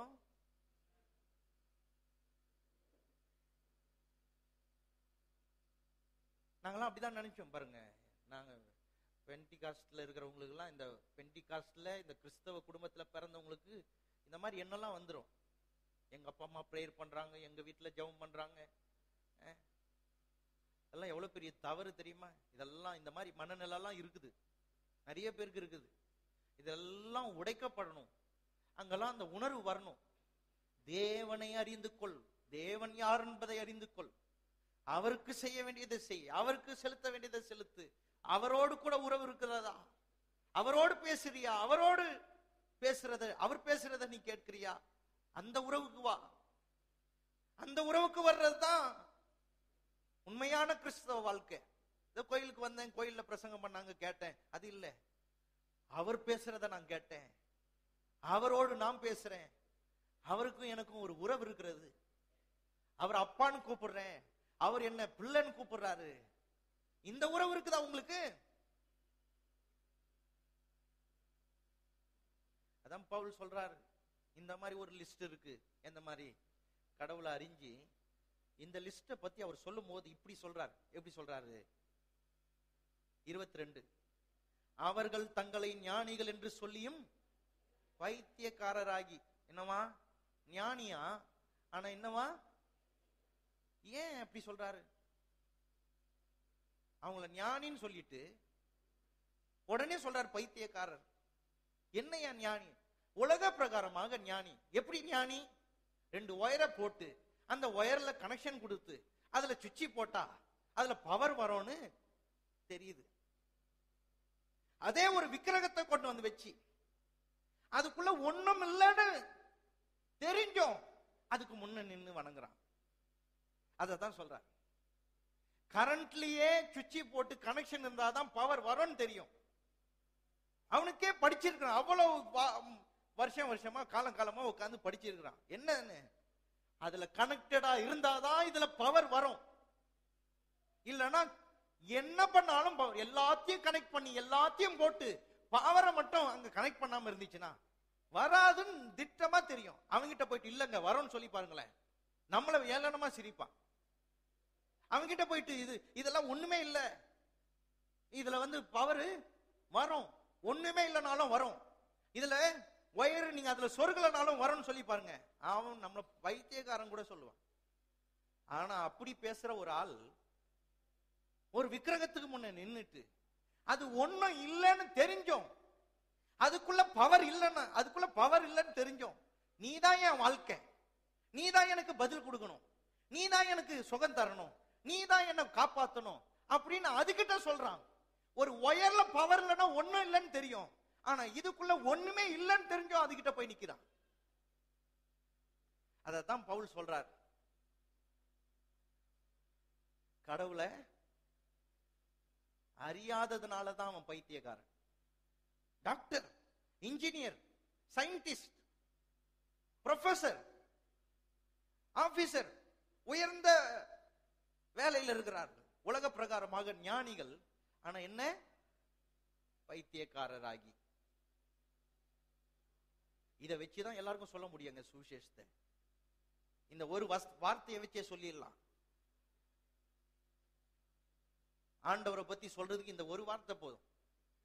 ஏன்னா அவனுக்குள்ள ஞானம் இருக்குது. ஆனா உலக பிரகாரமான ஞானம் இருக்குது. ஆனா உல- உன்னத ஞானம் இல்லை. உண்மையான தேவன் ஒருவர் இருக்கிறார். அவர் நல்லவர். அவர் எந்த விதத்துல இருக்கிறார்னு அவனுக்கு தெரியாம இருக்கிறான். இந்த மாதிரி பண்றான்ல பாருங்க. இந்த மாதிரி இருக்கிற ஆட்களை பவுல் என்ன சொல்றார்? இருபத்தி மூணு. அழிவில்லாத தேவனுடைய மகிமையை அழிவுள்ள மனுஷர்கள் பறவைகள் மிருகங்கள் ஊரும் பிராணிகள் ஆகிய இவைகளுடைய ரூபங்களுக்கு ஒப்பாக மாற்றினார். என்னவா? மனுஷன் கடவுளை அற்பமானவைகளோடு ஒப்பிட்டான். உடனே நம்ம ஆளுங்க என்ன சொல்றாங்க? அதெல்லாம் ஆராதனைக்கு தூண்டுதலா இருக்கிறது. ஆராதிக்கிறதுக்கு ஒரு ஒரு அருமையான வாய்ப்பா இருக்குது. ஒரு அம்மா சொன்னாங்க உங்க கோயில்ல ஒண்ணுமே இல்ல. ஆராதனை பண்ணவே முடியல அப்படின்னாங்க. ஏன்னா அவங்க ஒரு கத்தோலிக்கல இருந்து வந்தவங்க. அவங்க சொல்றாங்க உங்க கோயில்ல ஒண்ணுமே இல்லையே அப்படின்னா எங்க அப்பா என்ன பண்ணாரு? ஒரு புறா ஒண்ணு வரைஞ்சு விட்டார். பரிசுத்த ஆவியானவருக்கு வேதத்துல புறான்னு சொல்லி இருக்குது புறாவை போல வந்தார்னு. நிறைய பேர் போய் அதை தொட்டு கும்பிட்டு போனாங்க பாருங்க. பார்த்தேன். அடிச்சு அழிச்சு போடுங்க அதை அப்படின்ட்டு அழிச்சு போட்டோம் பாருங்க. ஒண்ணு வச்சிடக்கூடாது. எல்லாத்தையும் தொட்டு கும்பிட்டுட்டு போயிடும் நம்ம கிறிஸ்தவர்கள் கூட பாருங்க அதெல்லாம் வணங்குறது அதுக்கு ஒரு மரியாதை கொடுக்கறது அதை ஒரு தொட்டு கும்பிடுறது அந்த மாதிரி ஜனங்களோட சேர்ந்து இன்னும் பயபக்தியா இருக்கிற மாதிரி காட்டிக்கிறது. ஏன்னா இவங்க என்ன நினைச்சுன்னு இருக்கிறாங்க அதுவும் ஒரு கடவுள் தான். அதைத்தான் சத்தியம் தெரியாதனால தான் இப்படிலாம். சத்தியம் விளங்கல. கிறிஸ்தவன் பேர் வச்சிருக்கிறோம் கிறிஸ்தவன் சொல்லிக்கிறோம். சத்தியம் தெரியல. சத்தியம் என்ன? அவர் மாத்திரமே ஸ்தோத்தரிக்கப்படத்தக்கவர். அவர் மாத்திரமே தெ- உண்மையான தெய்வம். அவரே அவரே தேவன். அவரால் அவராலே அல்லாமல் அவரே அல்லாமல் வேறு ஒருவரும் இல்லை. அவருக்கு ஒப்பானவர் ஒருவரும் இல்லை. அவருக்கு நிகரானவர் ஒருவரும் இல்லை. அப்படிப்பட்ட ஒரு தேவன் என்ன பண்றாங்க இவங்க? அற்பமானதோடு ஒப்புறாங்க. சரி இது இதை இதை என்ன பண்ணலாம்? இதுக்கு இதெல்லாம் அப்படியே அனுமதிக்கிறாரா கர்த்தர்? இதெல்லாம் கர்த்தர் விட்டுட்டு சும்மா இருக்கிறாரா? இந்த மாதிரி அவபக்தியை. இந்த மாதிரி ஒரு கடவுளை அவமதிக்கிற ஒரு காரியம் ஒரு மிருகத்துக்கும் ஒரு ஊர் பிராணிகளுக்கும் ஜீவ ஜந்துகளுக்கும் விக்கிரகங்களுக்கும் தேவனுடைய சாயலை கொடுத்து அதை தேவன் என்று வணங்குகிறார்களே இதெல்லாம் கர்த்தர் பார்த்துட்டு சும்மா இருக்கிறாரா? வாசித்து காட்டுறோம் பாருங்க. இருபத்தி நாலு ஏன்னா நம்ம ஆளுங்க என்ன நினைக்கிறாங்க? இதெல்லாம் அவர் அனுமதிக்கிறார் இதெல்லாம் பார்த்துட்டு சும்மா இருக்கிறார். இல்ல சும்மா இல்ல. வாசித்து பாருங்க இருபத்தி நாலு பைபிளை திறந்து வாசிங்களேன். இது நிமித்தம். எது நிமித்தம்? இது நிமித்தம் இந்த விஷயத்துக்காகவே அவர்கள் தங்கள் இருதயத்தில் உள்ள இச்சைகளினாலே ஒருவரோடு ஒருவர் தங்கள் சரீரங்களை அவமானப்படுத்தத்தக்கதாக தேவன் அவர்களை அசுத்தத்திற்கு ஒரு காரியத்தை வெட்ட வெளிச்சமா சொல்லிடுறேன். விக்கிரக ஆராதனை பண்றதுனால லைஃப் நல்லா இருக்கும். நல்லா போயிட்டு இருக்குது அவங்க லைஃப் நல்லா இருப்பாங்க சுத்தமா இருப்பாங்க சரியா இருப்பாங்கன்னு என்னைக்குமே முடிவெடுத்துறாதீங்க இதுதான் அப்படி இருக்கும். அவர்களுக்குள்ள இச்சைகள் இருக்கும். என்ன மாதிரி இச்சைகள்னா அவ்வளவு பரிசுத்தமானதை எடுத்து தவறானதோடு ஒப்பிடுற அளவுக்கு இவர்களுடைய மனம் இருக்குதுன்னா அந்த அளவுக்கு இவர்களும் இவர்களுக்குள்ள அப்படிப்பட்ட ஒரு நிலைக்கு தள்ளவும் பட முடியும். அப்படிப்பட்ட நிலைக்கும் இவர்கள் போ வாய்ப்பு உண்டு. என்ன மாதிரி? ஒரு உன்னதமான தேவன் எடுத்து அற்பமானதோடு ஒப்பிடுறாங்கன்னா அந்த மாதிரி ஒரு ஆசை அந்த மாதிரி ஒரு இச்சை உள்ள இருக்குது. அதுவே காட்டுது. அவர்களுக்குள்ள ஒரு பொல்லாத நிலை இருக்கிறது. எவ்வளவு பெரிய தேவனை ஒரு சாதாரணமானதோடு ஒப்பிடுறாங்கன்னா அப்போ பெரிய ஒரு சர்வ வல்லவரை அற்பமானதோடு ஒப்பிடுறாங்கன்னா அப்போ அவ்வளவு ஒரு கேவலமான கேடான சிந்தை உள்ள இருக்கு. அதனால அவங்க வந்து அசுத்தத்திற்கு கூட போவாங்க பாருங்க. என்னைக்குமே நீங்க நினைச்சிடாதீங்க. அநியாயத்தை பார்த்துட்டு கர்த்தர் சும்மா இருக்கிறார். அவபத்திக்கையை பார்த்துட்டு சும்மா இருக்கிறார். வேதம் வெட்ட வெளிச்சமா சொல்லுது. இதெல்லாம் நடு இதெல்லாம் கர்த்தர் ஒப்பு கொடுத்துடுறார். போ. எந்த மாதிரி போயிடுறாங்க? அவமானப்படுத்தத்தக்கத? தங்களையே அவமானப்படுத்தத்தக்க விதத்துல வாழ்வாங்களாம் பாருங்க. ரொம்ப அசுத்தமானதுக்கெல்லாம் போவாங்க. விக்கிரக ஆராதனைன்றது சும்மா சாதாரணமானது இல்ல பாருங்க. கடவுள் அவமதிக்கிற ஒரு ஆராதனை. கடவுளுடைய சாயலை அற்பமா நினைக்கிற ஒரு ஆராதனை. கடவுளை அசிங்கப்படுத்துற ஒரு ஆராதனை. ஆகவே கர்த்தர் அதெல்லாம் பார்த்துட்டு சும்மா இருக்கிறார். அதெல்லாம் விட்டுட்டாருன்னு நினைச்சுட்டு இருக்கீங்களா? கிடையாது. அப்படிப்பட்டதை செய்கிறவர்கள் வாழ்க்கையெல்லாம் போய் பாருங்க. அவங்க சரியா இருக்கிறாங்கன்னா அப்ப வேதம் போய் பைபிள் போய். அப்ப அவங்கள பின்னாடி தான் நம்ம போனோம் கிடையாது. வேதம் தெளிவா சொல்லுது. அவர்களுக்குள்ள இழிவான இச்சைகள் இருக்குது. தவறான இச்சை இருக்குது. இருபத்தஞ்சு. தேவனுடைய சத்தியத்தை அவர்கள் பொய்யாக மாற்றி சிருஷ்டிகரை தொழுது சேவியாமல் திரு சிருஷ்டியை தொழுது சேவித்தார்கள். அவரே என்றென்றைக்கும் சோத்தரிக்கப்படப்பட்டவர். ராமேன் இது நிமித்தம் தேவன் அவர்களை இழிவான இச்சை ரோகங்களுக்கு ஒப்பு கொடுத்தார். அந்தபடியே அவர்களுடைய பெண்கள் சுபாவ அனுபவத்தை சுபாவத்துக்கு விரோதமான அனுபவமாக எங்க ஆரம்பிச்சது தெரியுமா இதெல்லாம்? பைபிள்ல சொல்லியிருக்கு பாருங்க. ரொம்ப கேவலமானதெல்லாம் சொல்லியிருக்குது ஏன் இப்படிலாம் சொல்லியிருக்குது ஏன் இதெல்லாம் வாசிக்கிறோம்? இதெல்லாம் வார வாரம் சொல்லின்னு இருக்க முடியாது. பொல்லாத உலகன்றதை நிரூபிக்கிறதுக்கு தான் அதெல்லாம் எடுத்து காட்டிட்டு இருக்கு. எப்படி எல்லாம் சொல்லியிருக்கு பாருங்க.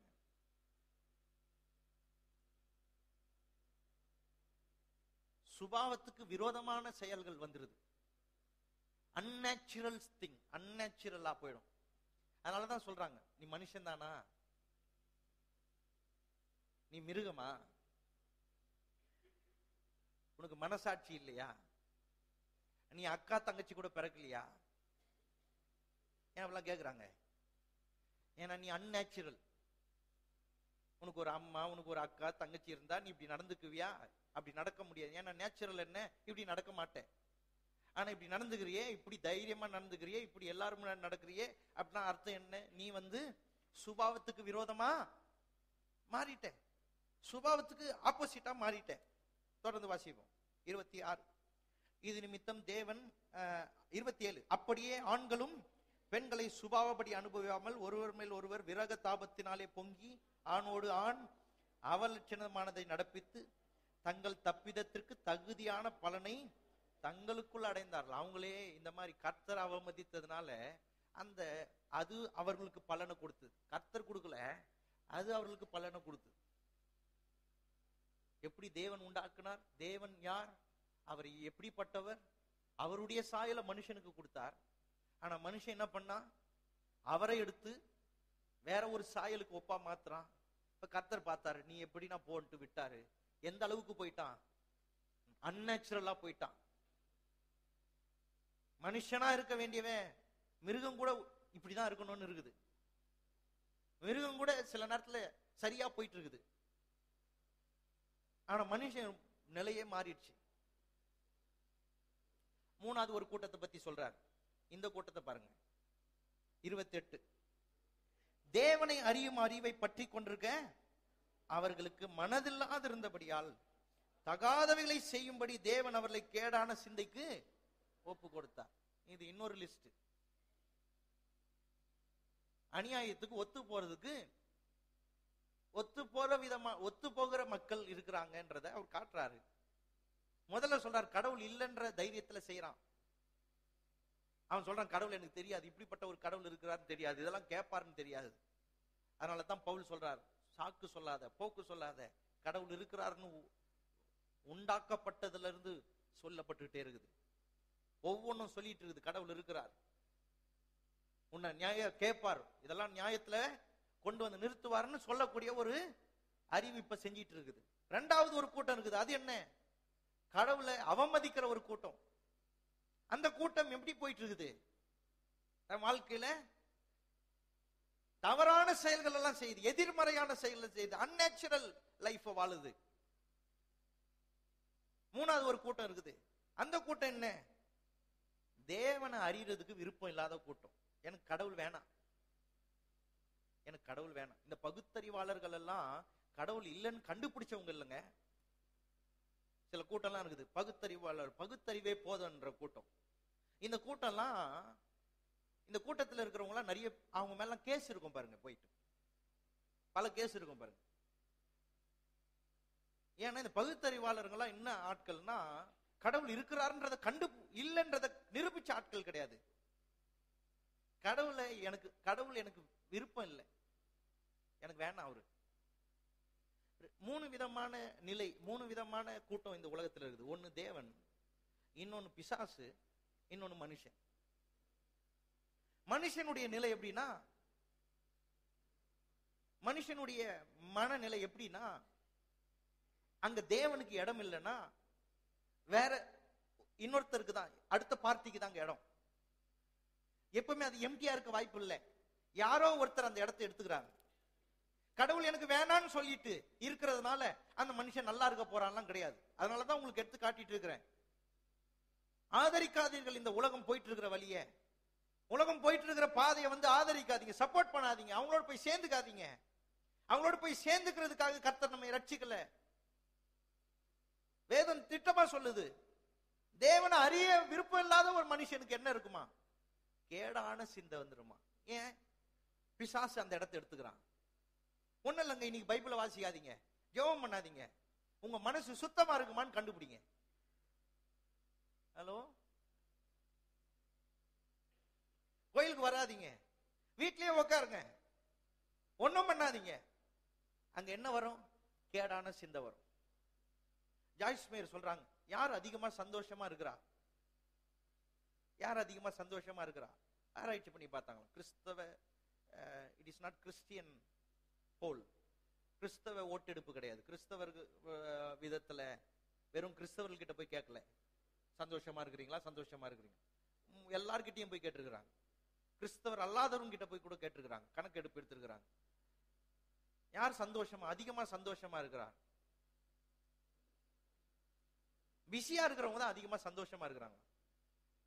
சும்மா இருக்கிறவங்க அதிகமா பிரச்சனையில தான் இருக்கிறாங்க. ஏன்னா இந்த வாய் ஒண்ணு இருக்குது பாருங்க. சில ஆபீஸ் சில கம்பெனி எல்லாம் பாத்தீங்கன்னா வேலை விட்டு துரத்திடுவாங்க. எதுக்கு தெரியுமா துரத்திருப்பாங்க?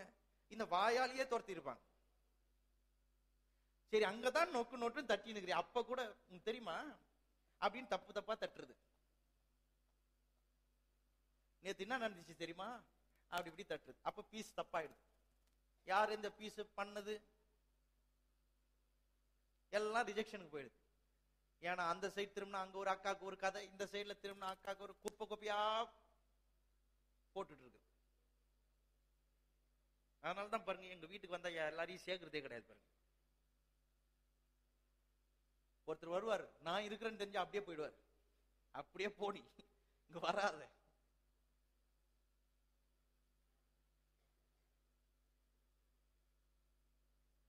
தேவையில்ல அதெல்லாம் பேசிக்கிட்டு கண்டதெல்லாம் பேசிக்கிட்டு இருப்போம். பிஸியா இருக்குது பிஸியா இருக்குதுன்னா நம்ம ஆளுங்க நினைச்சுக்கிறாங்க. ஒரே நைட் ஷிஃப்ட் டே ஷிஃப்ட் எல்லா ஷிஃப்டும் செய்யுது நினைச்சிருக்கிறாங்க அந்த பிஸியா அவங்க சொல்லல. நம்ம ஆளுங்க என்ன பண்ணிட்டாங்க? பிஸியா இருக்கிறதுனா day shift night day shift செஞ்சுட்டு வந்து கூட சண்டை போட்டவங்க உண்டு. நைட் ஷிஃப்ட் போயிட்டு வந்தவங்க கூட வீட்ல ஒரே ரகல நடந்தது உண்டு. ஜாய்ஸ் மேரே சொல்லியிருக்கிறாங்களா? அப்ப நான் சரியா தானே போய் நிற்கிறேன் அப்ப கூட சண்டை நடக்குது. அதை தான் சொல்றேன். பிஸினா அந்த பிசி இல்ல. வேதம் என்ன சொல்லுது? இரவும் பகலும் இதில் பிரியமாயிருந்து இதை தியானிக்கிற மனுஷன் பாக்கியவான் தமிழ்ல இருக்குது இங்கிலீஷ்ல இருக்குது. ஹாப்பி இஸ் ஹி சந்தோஷமா இருப்பான் யார் சந்தோஷமா இருப்பா இதை எடுத்து தான் மனதுல வச்சுக்கிறவன். அவரை நினைச்சு பார்க்கிறவன். அவரோடு நேரம் செலவு பண்றவன். அவனுக்கு எப்படி இருக்குமா? அந்த நாள் முழுவதும் சந்தோஷமான நாளா இருக்கும். இருக்கிறீங்களா? தான் சொல்றார் தேவன் அறியறதுக்கு அங்க இடம் இல்லையா? அப்போ இன்னொன்னு வந்து உட்கார்ந்துரும். தேவன் அறிய அங்க மனதில்லாது இருந்- இருக்கிறவன் என்னத்தை அறியறதுக்கு உட்காருவாங்க? அக்கா என்னை பத்தி என்ன சொல்றாங்க? தாத்தா என்னை பத்தி என்ன சொல்றாங்க? மாமா என்னை பத்தி என்ன சொல்றாங்க?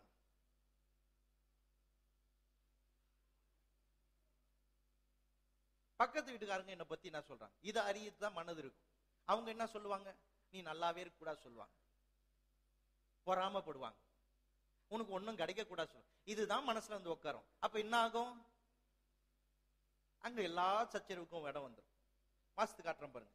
தேவனுக்கு இடம் இல்லாத ஒரு நிலை வரும்போது இதெல்லாம் நடக்கும். இருபத்தி ஒன்பது அவர்கள் சகலவித அநியாயத்திலும் வேசித்தனத்தினாலும் துரோகத்தினாலும் பொருளாசையினாலும் குரோதத்தினாலும் நிறையப்பட்டு பொறாமையினாலும் கொலையினாலும் வாக்கு அதான் சண்டை எல்லாம் வருது பாருங்க. தேவனுக்கு அங்க இடம் இல்லைன்னா வாக்குவாதம் எல்லாம் வரும். வாக்குவாதத்தினாலும் வஞ்சகத்தினாலும் வன்மத்தினாலும் நிறைந்தவர்களுமாய் புறங்கூறுகிறவர்களுமாய் அவதூறு பண்ணுகிறவர்களுமாய் தேவ பகைனருமாய் துராகிருதம் பண்ணுகிறவர்களுமாய் அகந்தை உள்ளவர்களுமாய் வீம்புக்காரருமாய் பொல்லாதவைகளை யோசித்து பிணைக்கிறவர்களுமாய் பெற்றாருக்கு கீழ்ப்படியாதவர்களுமாய் உணர்வில்லாதவர்களுமாய் உடன்படிக்கைகளை மீறுகிறவர்களுமாய் சுபாவ அன்பில்லாதவர்களுமாய் இணங்காதவர்களுமாய் இரக்கமில்லாதவர்களுமாய் இருக்கிறார்கள். இந்த இடத்துல தான் ஒரே ஒரு பைபிள்லயே இந்த இடத்துல தான் இருக்கான் பாருங்க இந்த வார்த்தை. தேவ பகைனர் தேவ பகைனர்ன்ற வார்த்தை பைபிள்லயே இந்த இடத்துல மட்டும் தான் இருக்கும் வேற எங்கேயுமே கிடையாது. கடவுளுக்கு இடம் இல்லை. கடவுளை தான் வாழ்க்கையில அறியறதுக்கு விருப்பம் இல்லாத ஒரு மனுஷன் எங்க போயிடுறானா கடவுளை கூட எதிர்த்து பேசுவான். எப்படி பேசுவான் தெரியுமா? கடவுளே வந்தாலும் நம்மளை பிரிக்க முடியாது. இவங்க அந்த மாதிரி ஸ்ட்ராங்கா கடவுளே வந்தாலும் நம்மளை பிரிக்க முடியாது. இன்னொரு இன்னொரு ஸ்டேட்மெண்ட் இருக்குது. கடவுளே வந்து சொன்னாலும் நான் உன்னை நம்புவேன். கடவுளே வந்து நம்பாதன்னு சொன்னாலும் நான் கேட்க மாட்டேன். நான் உன்னை நம்புவேன். அப்படி சொல்லி சொல்லி தான் இன்னைக்கு இப்படி ஆயிடுச்சு. கடவுளே பிரிக்க முடியாது. கடவுளே வந்து உன்னை பத்தி தப்பா சொன்னாலும் நான் நம்ப மாட்டேன். கடவுளையே எதிர்ப்பாங்க இவங்க. எல்லாத்துக்கும் கடவுள். வாய் கூசாம சொல்லுவாங்க கடவுள் கடவுள் கடவுள் எல்லாத்தையும் கடவுள் மேல போட்டுருவாங்க. அதான் சாம் பாஸ்டர் சொன்னார் பாருங்க. அப்படின்னா கடவுளை தான் பூச்சி ஜெயில போடணும். ஏன்னா எல்லாம் கடவுள் தானே பண்றாரு.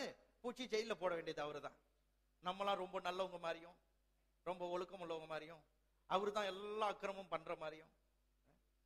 இதுல வேற இப்படி வேற சொல்றது. நல்ல இயேசு இப்படி பண்றாராம். நல்ல இயேசு பண்றாராம். இதுல வேற நல்ல வேற கூட சேர்த்துக்கிறது. நல்ல இயேசு குடும்பத்தை பிரிக்கிறாராம். நல்ல இயேசு இந்த மாதிரி கஷ்டத்தெல்லாம் கொடுக்குறாரு. நல்ல இயேசு இப்படியா செய்வார்? அதான் லிஸ்ட் கொடுத்துட்டு சொல்றாரு. இப்படி இருக்கு உலகம். நீங்க பாக்குறீங்க. நம்ம பாக்குறோம். நம்ம கண்ணார பாக்குறோம் இப்படிப்பட்ட ஜனங்களோட வாழ்ந்துட்டு இருக்கிறோம். அப்ப எப்படி நாம இந்த பொல்லாத உலகம் இல்லைன்னு எப்படி சொல்ல முடியும்? இது பொல்லாத உலகம். இந்த உலகத்துல இருந்து நாம் வேறு பிரிக்கப்படணும். அதுக்கு தான் இயேசு வந்தார். ஒரே ஒரு வசனத்தை வாசித்து முடிக்கலாம். ஒன்றியோவான் ஒன்னா அதிகாரத்துக்கு வாங்களேன். ஒன்றியோவான் ஒன்னா அதிகாரம். இங்க வந்தீங்கன்னா உங்களுக்கு புரியும்.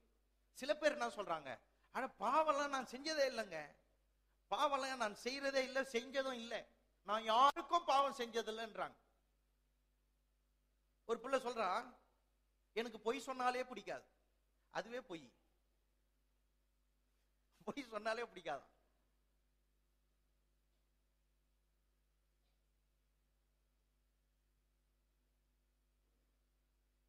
எட்டு பாருங்களேன்.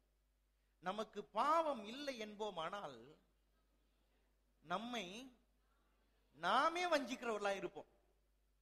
நான் பாவம்லாம் செய்யல அப்படின்னா இந்த உலகத்துல இருந்துகிட்டு இந்த மாதிரி ஒரு உலகத்துல இருந்துட்டு பாவம்ன்றது ஒண்ணுமே இல்லை பாவமே கிடையாது. இதெல்லாம் ஒரு வாழ்க்கையின் ஒரு இஸ் வே ஆஃப் லிவிங் அவங்க கரடு முரடா வாழ்றாங்க நாங்க நல்லா வாழ்றோம்.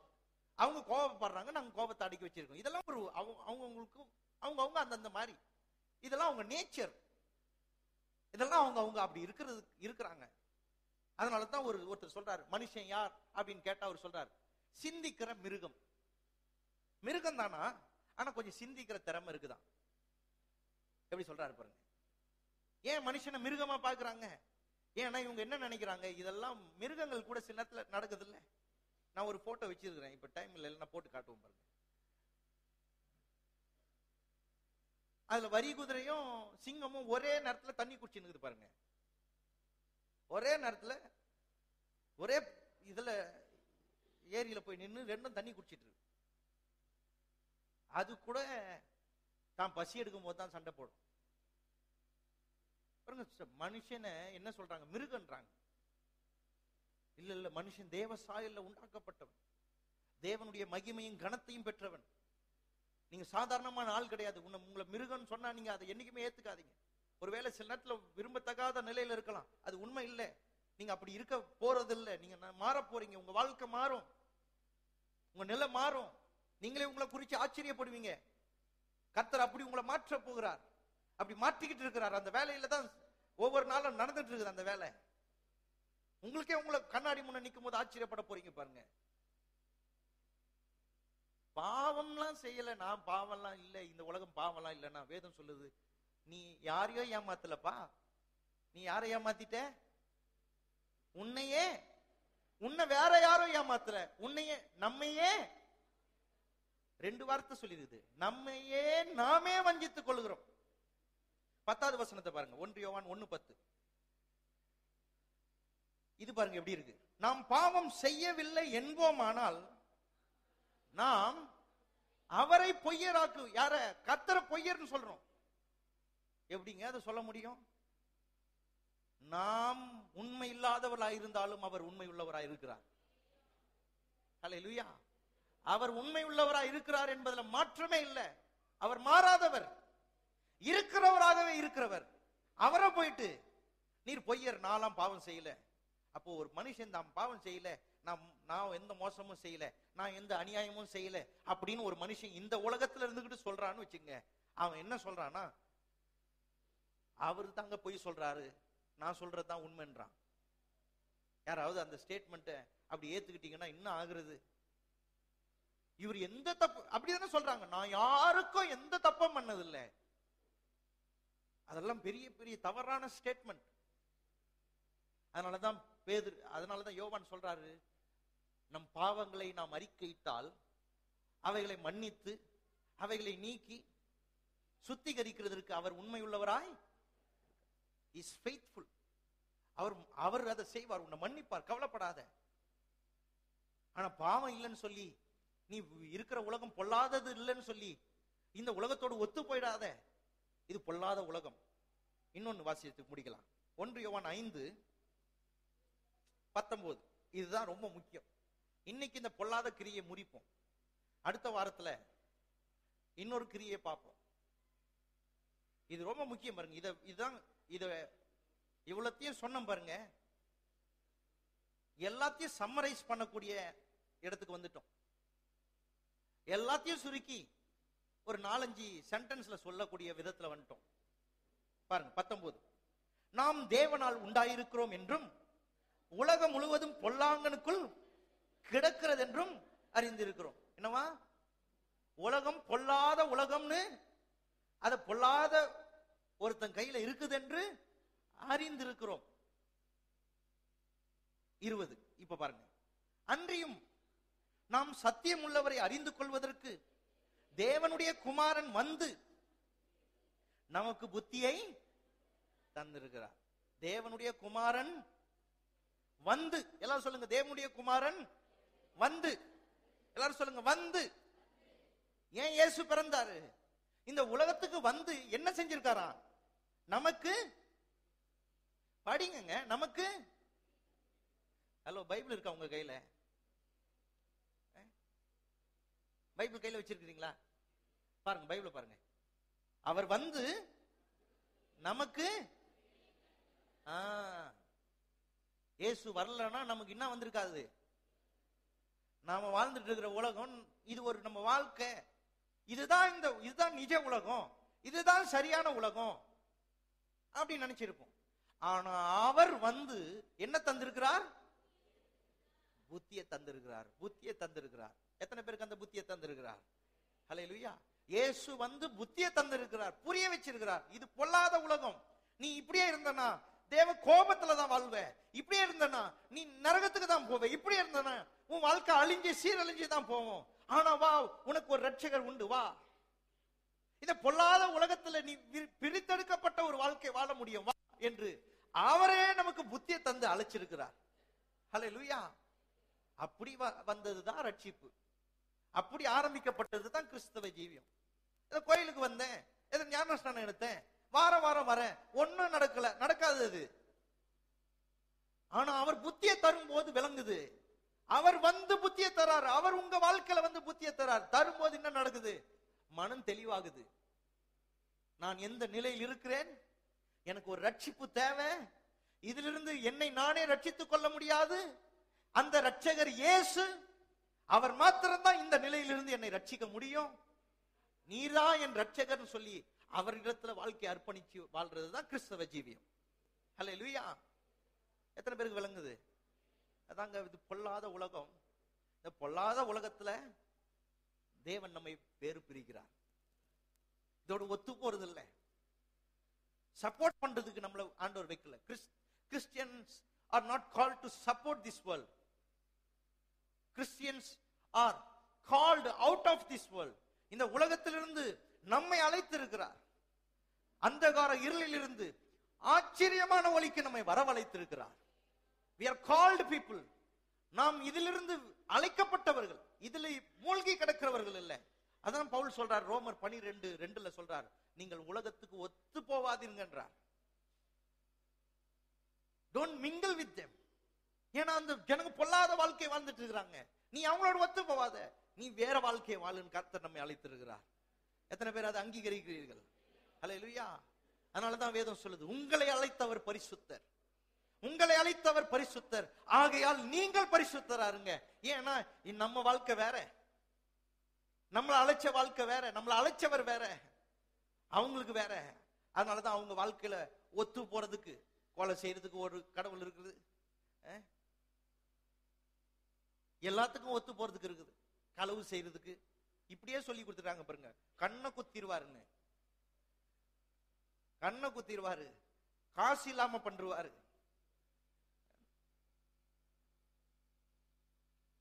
இந்த கடவுள் அப்படி இல்லை பாருங்க.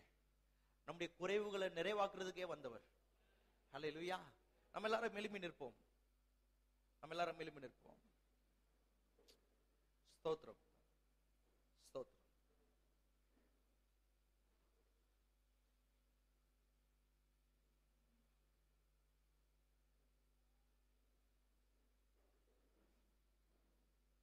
இந்த உலகம் பொல்லாததுன்றத கண்டுபிடிச்சவன் தான். இயேசு கிட்ட வர முடியும். சகேயு அப்பதான் பாருங்க இயேசு சொல்றார் இன்றைக்கும் உன் ரட்சிப்பு வந்தது. நான் வாழ்க்கை பொல்லாதது தவறு பண்ணிட்டேன். நான் செஞ்சதெல்லாம் சரின்னு நினைச்சிட்டு இருந்தேன். அதெல்லாம் தவறுன்னு கண்டுபிடிச்சான் பாருங்க. அப்பதான் சொன்னார் இயேசு. ஏப்பா கண்டுபிடிச்சிட்டல்ல? இன்றைக்கு உன் வீட்டுக்கு ரட்சிப்பு வந்ததுன்ற கண்டுபிடிச்சவங்க கிட்ட தான் சொல்றார். This day you are save இன்னைக்கு நீ ரட்சிக்கப்பட்டிருக்கிறார் கண்டுபிடிக்காம ஏதோ ஒன்று பண்ணிட்டு ரட்சிப்பு ரட்சிப்புன்னு சொல்லி இருக்க கூடாது. அப்போ ஒரு உறுதியற்ற ஒரு நிலை இருக்கும். கண்டுபிடிக்கணும். நான் யாரு? நான் எப்படி இருக்கிறேன்? என் நிலை என்ன? நான் இந்த உலகத்துல எப்படி இருக்கிறேன்றதை கண்டுபிடிக்கணும் பாருங்க. அங்கதான் இயேசு எனக்கு உத்தரவாதம் கொடுக்க முடியும். நீ ரட்சிக்கப்பட்டிருக்கிறாய். இன்றைக்கு இந்த வீட்டுக்கு ரட்சிப்பு வந்தது. ஹலோ லூயா கரங்களை உயர்த்தி கர்த்தருக்கு நன்றி சொல்லும். ஆண்டவரே நீர் வந்து எனக்கு புத்தியை தந்திருக்கிறீர். நீர் வந்து எனக்கு அந்த புத்தியை தந்திருக்கிறீர். இந்த உலகம் பொல்லாததுன்ற புத்தியை தந்திருக்கிறீர். இதிலே நான் வாழ்வது எவ்வளவு பெரிய தவறு. இதுல இருந்து வேறு பிரிக்கப்பட்ட வாழ்க்கை வாழ்வதுதான் நீர் எனக்கு வைத்திருக்கிற நோக்கம். இதோடு ஒத்து போக கூடாது என்று என்னை நீர் பிரித்து வைத்திருக்கிறீர். சோத்திரம் சோத்திரம் கர்த்தாவே. நீர் வந்து புத்தியை தந்திருக்கிறீர். ஸ்தோத்திரம் கர்த்தாவே. நான் அழிந்து போவது உம்முடைய சித்தம் இல்லை கர்த்தாவே. நான் ஒன்றுமில்லாமல் இருப்பது உம்முடைய சித்தம் இல்லை கர்த்தாவே. நான் கெட்டு போவது உம்முடைய சித்தம் இல்லை கர்த்தாவே. ஹalleluya கர்த்தர் நீங்க கெட்டு போவது அவருடைய சித்தம் இல்லை. அதனால தான் இந்த புத்தியை உங்களுக்கு தரார். இந்த உலகத்தோடு ஒத்து போறதுக்கு நம்மள வைக்கல. இதோட ஒத்து போனோம்னா நம்ம வாழ்க்கை மாறாது மலராது. இன்றைக்கு கர்த்தாவே இது பொல்லாத உலகம். இந்த பொல்லாத உலகத்திலிருந்து ரட்சிக்கவே நீர் வந்தீர் என்று வருகிறோமோ அப்பொழுதுதான் நம் வாழ்க்கை மலர ஆரம்பிக்கிறது. ஹாலை லூயா ஹாலை லூயா சோத்திரம் கர்த்தாவே. அன்பும் கிருபையும் இரக்கமும் தயவும் உள்ளவரே உம் குமாரன் இயேசுவின் மூலம் சமூகத்திலே வருகிறோம் கர்த்தாவே. இந்த அற்புதமான இந்த காலை வேளையிலே உம் வார்த்தைகளை கேட்க உம் வார்த்தையினாலே நாங்கள் கண்டுபிடிக்க இந்த உலகம் எந்த நிலையில் இருக்கிறது? இப்படிப்பட்ட உலகத்திலே எங்களை ரட்சித்திருக்கிறீரே ஸ்தோத்திரம் கர்த்தாவே. எங்களை பிரித்தெடுத்திருக்கிறீரே ஸ்தோத்திரம் கர்த்தாவே. இன்றைக்கும் இந்த வார்த்தைகளை கேட்ட ஒவ்வொருவரும் இதை விலகிக் கொள்ள உதவி செய்யும். அவள் வாழ்வு மலரட்டும். ரட்சிப்பின் அனுபவத்தில் வாழட்டும். கிறிஸ்துவுக்குள்ளே வாழட்டும் கர்த்தாவே. ஹalleluya இந்த வசனங்கள் அவளை உயிர்ப்பிக்கட்டும். வாழ்க்கையில் ஒரு திருப்புமுனையை உண்டாக்கட்டும் கர்த்தாவே. பரிசுத்த ஆவியானவர் நீர் எங்களை காத்துக்கொள்ளும். நீர் எங்களுக்கு மன தெளிவை தாரும். உண்மை அறிய நாங்கள் மனதா இருக்கிறோம் கத்தாவே எங்கள் மனதை எல்லாம் நீர் நிரப்பிக் கொள்ளும் எங்கள் எண்ணங்களை எல்லாம் நீர் நிரப்பி அருளும் கத்தாவே வந்த ஒவ்வொருவரையும் ஆசீர்வதிப்பீராக. இயேசுவின் மூலம் ஜெபிக்கிறோம். நம்ம எல்லாரும் சொல்லுவோம். தயவு செய்து உட்காருவோம். கத்திற்கு காணிக்க செல்வோம் எல்லாரும் சேர்ந்து சொல்லுவோம். கர்த்தரின் மெய்ப்புறா இருக்கிறார். நான் தாழ்ச்சி அடையேன். என் ஜீவன் உள்ள நாளெல்லாம் நன்மையும் கிருபையும் என்னை தொடரும். கரங்களை தட்டி கர்த்தரை மைமைப்படுத்துவோம்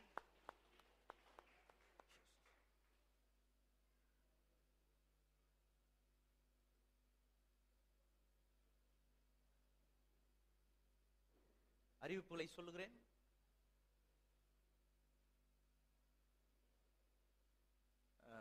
ஞாயிற்றுக்கிழமை காலையில் ரெண்டு ஆராதனைகள் ஒரு ஆராதனை ஆறு முப்பதுக்கு ஆறு மணிக்கு இரண்டாவது ஆராதனை எட்டு முப்பதுக்கு.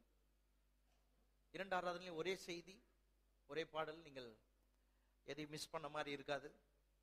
மாலை ஆராதனை ஆறு முப்பதுக்கு நடக்கும். அதுல வேற செய்தி நீங்கள் வந்து கேட்கலாம் அது உங்களுக்கு பிரயோஜனமா இருக்கும். செவ்வாய்க்கிழமை காலை பத்து மணிக்கு சகோதரிகள் கூடுக இருக்கிறது. வியாழன் மாலை ஆறு நாற்பத்தி ஐந்துக்கு வேத பாடம் இருக்கிறது. இயேசுவின் மலை பிரசங்கத்தை குறித்து போதித்துக் கொண்டு வருகிறோம். வெள்ளிக்கிழமை காலை பரிந்துரை மன்றாட்டு ஜெபம் இருக்கிறது. மற்றவர்களுக்காக ஜெபிக்கிற ஜெபம் இருக்கிறது. கலந்து கொள்வோம். நம்ம எல்லாரும் எழுவி நிற்போம்.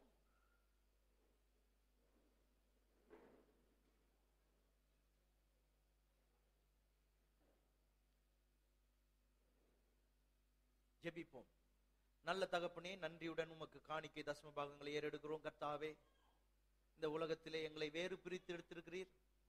எங்களுக்கு எங்களை ஆசீர்வதிக்கவே. நீர் சாபமானீர். எங்களை ஐஸ்வர்யவான்கள் ஆக்கவே நீர் தரித்திரரானீர். அதையெல்லாம் நாங்கள் எண்ணி பார்க்கிறோம் கர்த்தாவே. நாங்கள் பெருகுவதே உங்களுடைய சித்தமாயிருக்கிறது. எல்லாவற்றிலும் வாழ்ந்து சுகமாயிருப்பதே உங்களுடைய சித்தமாயிருக்கிறது. ஜீவன் உண்டாகவும் அது பரிபூர்ணப்படவுமே வந்தீர் என்று நாங்கள் வாசிக்கிறோமே. உங்களுடைய வார்த்தை எங்களுக்கு ஜீவனையும் பரிபூர்ணத்தையும் அருளுகிறபடியால் சோத்தரிக்கிறோம் கர்த்தாவே. இதோ காணிக்கை தசம பாகங்களால் உம்மை கனப்படுத்துகிறோம் கர்த்தாவே. உடைய நாம மையமைப்படட்டும் உங்களை பெருக செய்யும். இயேசுவின் மூலம் ஜெபிக்கிறோம். நாம் எல்லாரும் சேர்ந்து சொல்லுவோம். நம்முடைய கர்த்தரா இருக்கிற இயேசு கிறிஸ்துவின் கிருபையும் பிதாவாகிய தேவனுடைய அன்பும் பரிசுத்த ஆவியானவருடைய ஐக்கியம் நம் அனைவரோடும் இன்றும் என்றும் சதா காலம் இருப்பதாக. God bless you.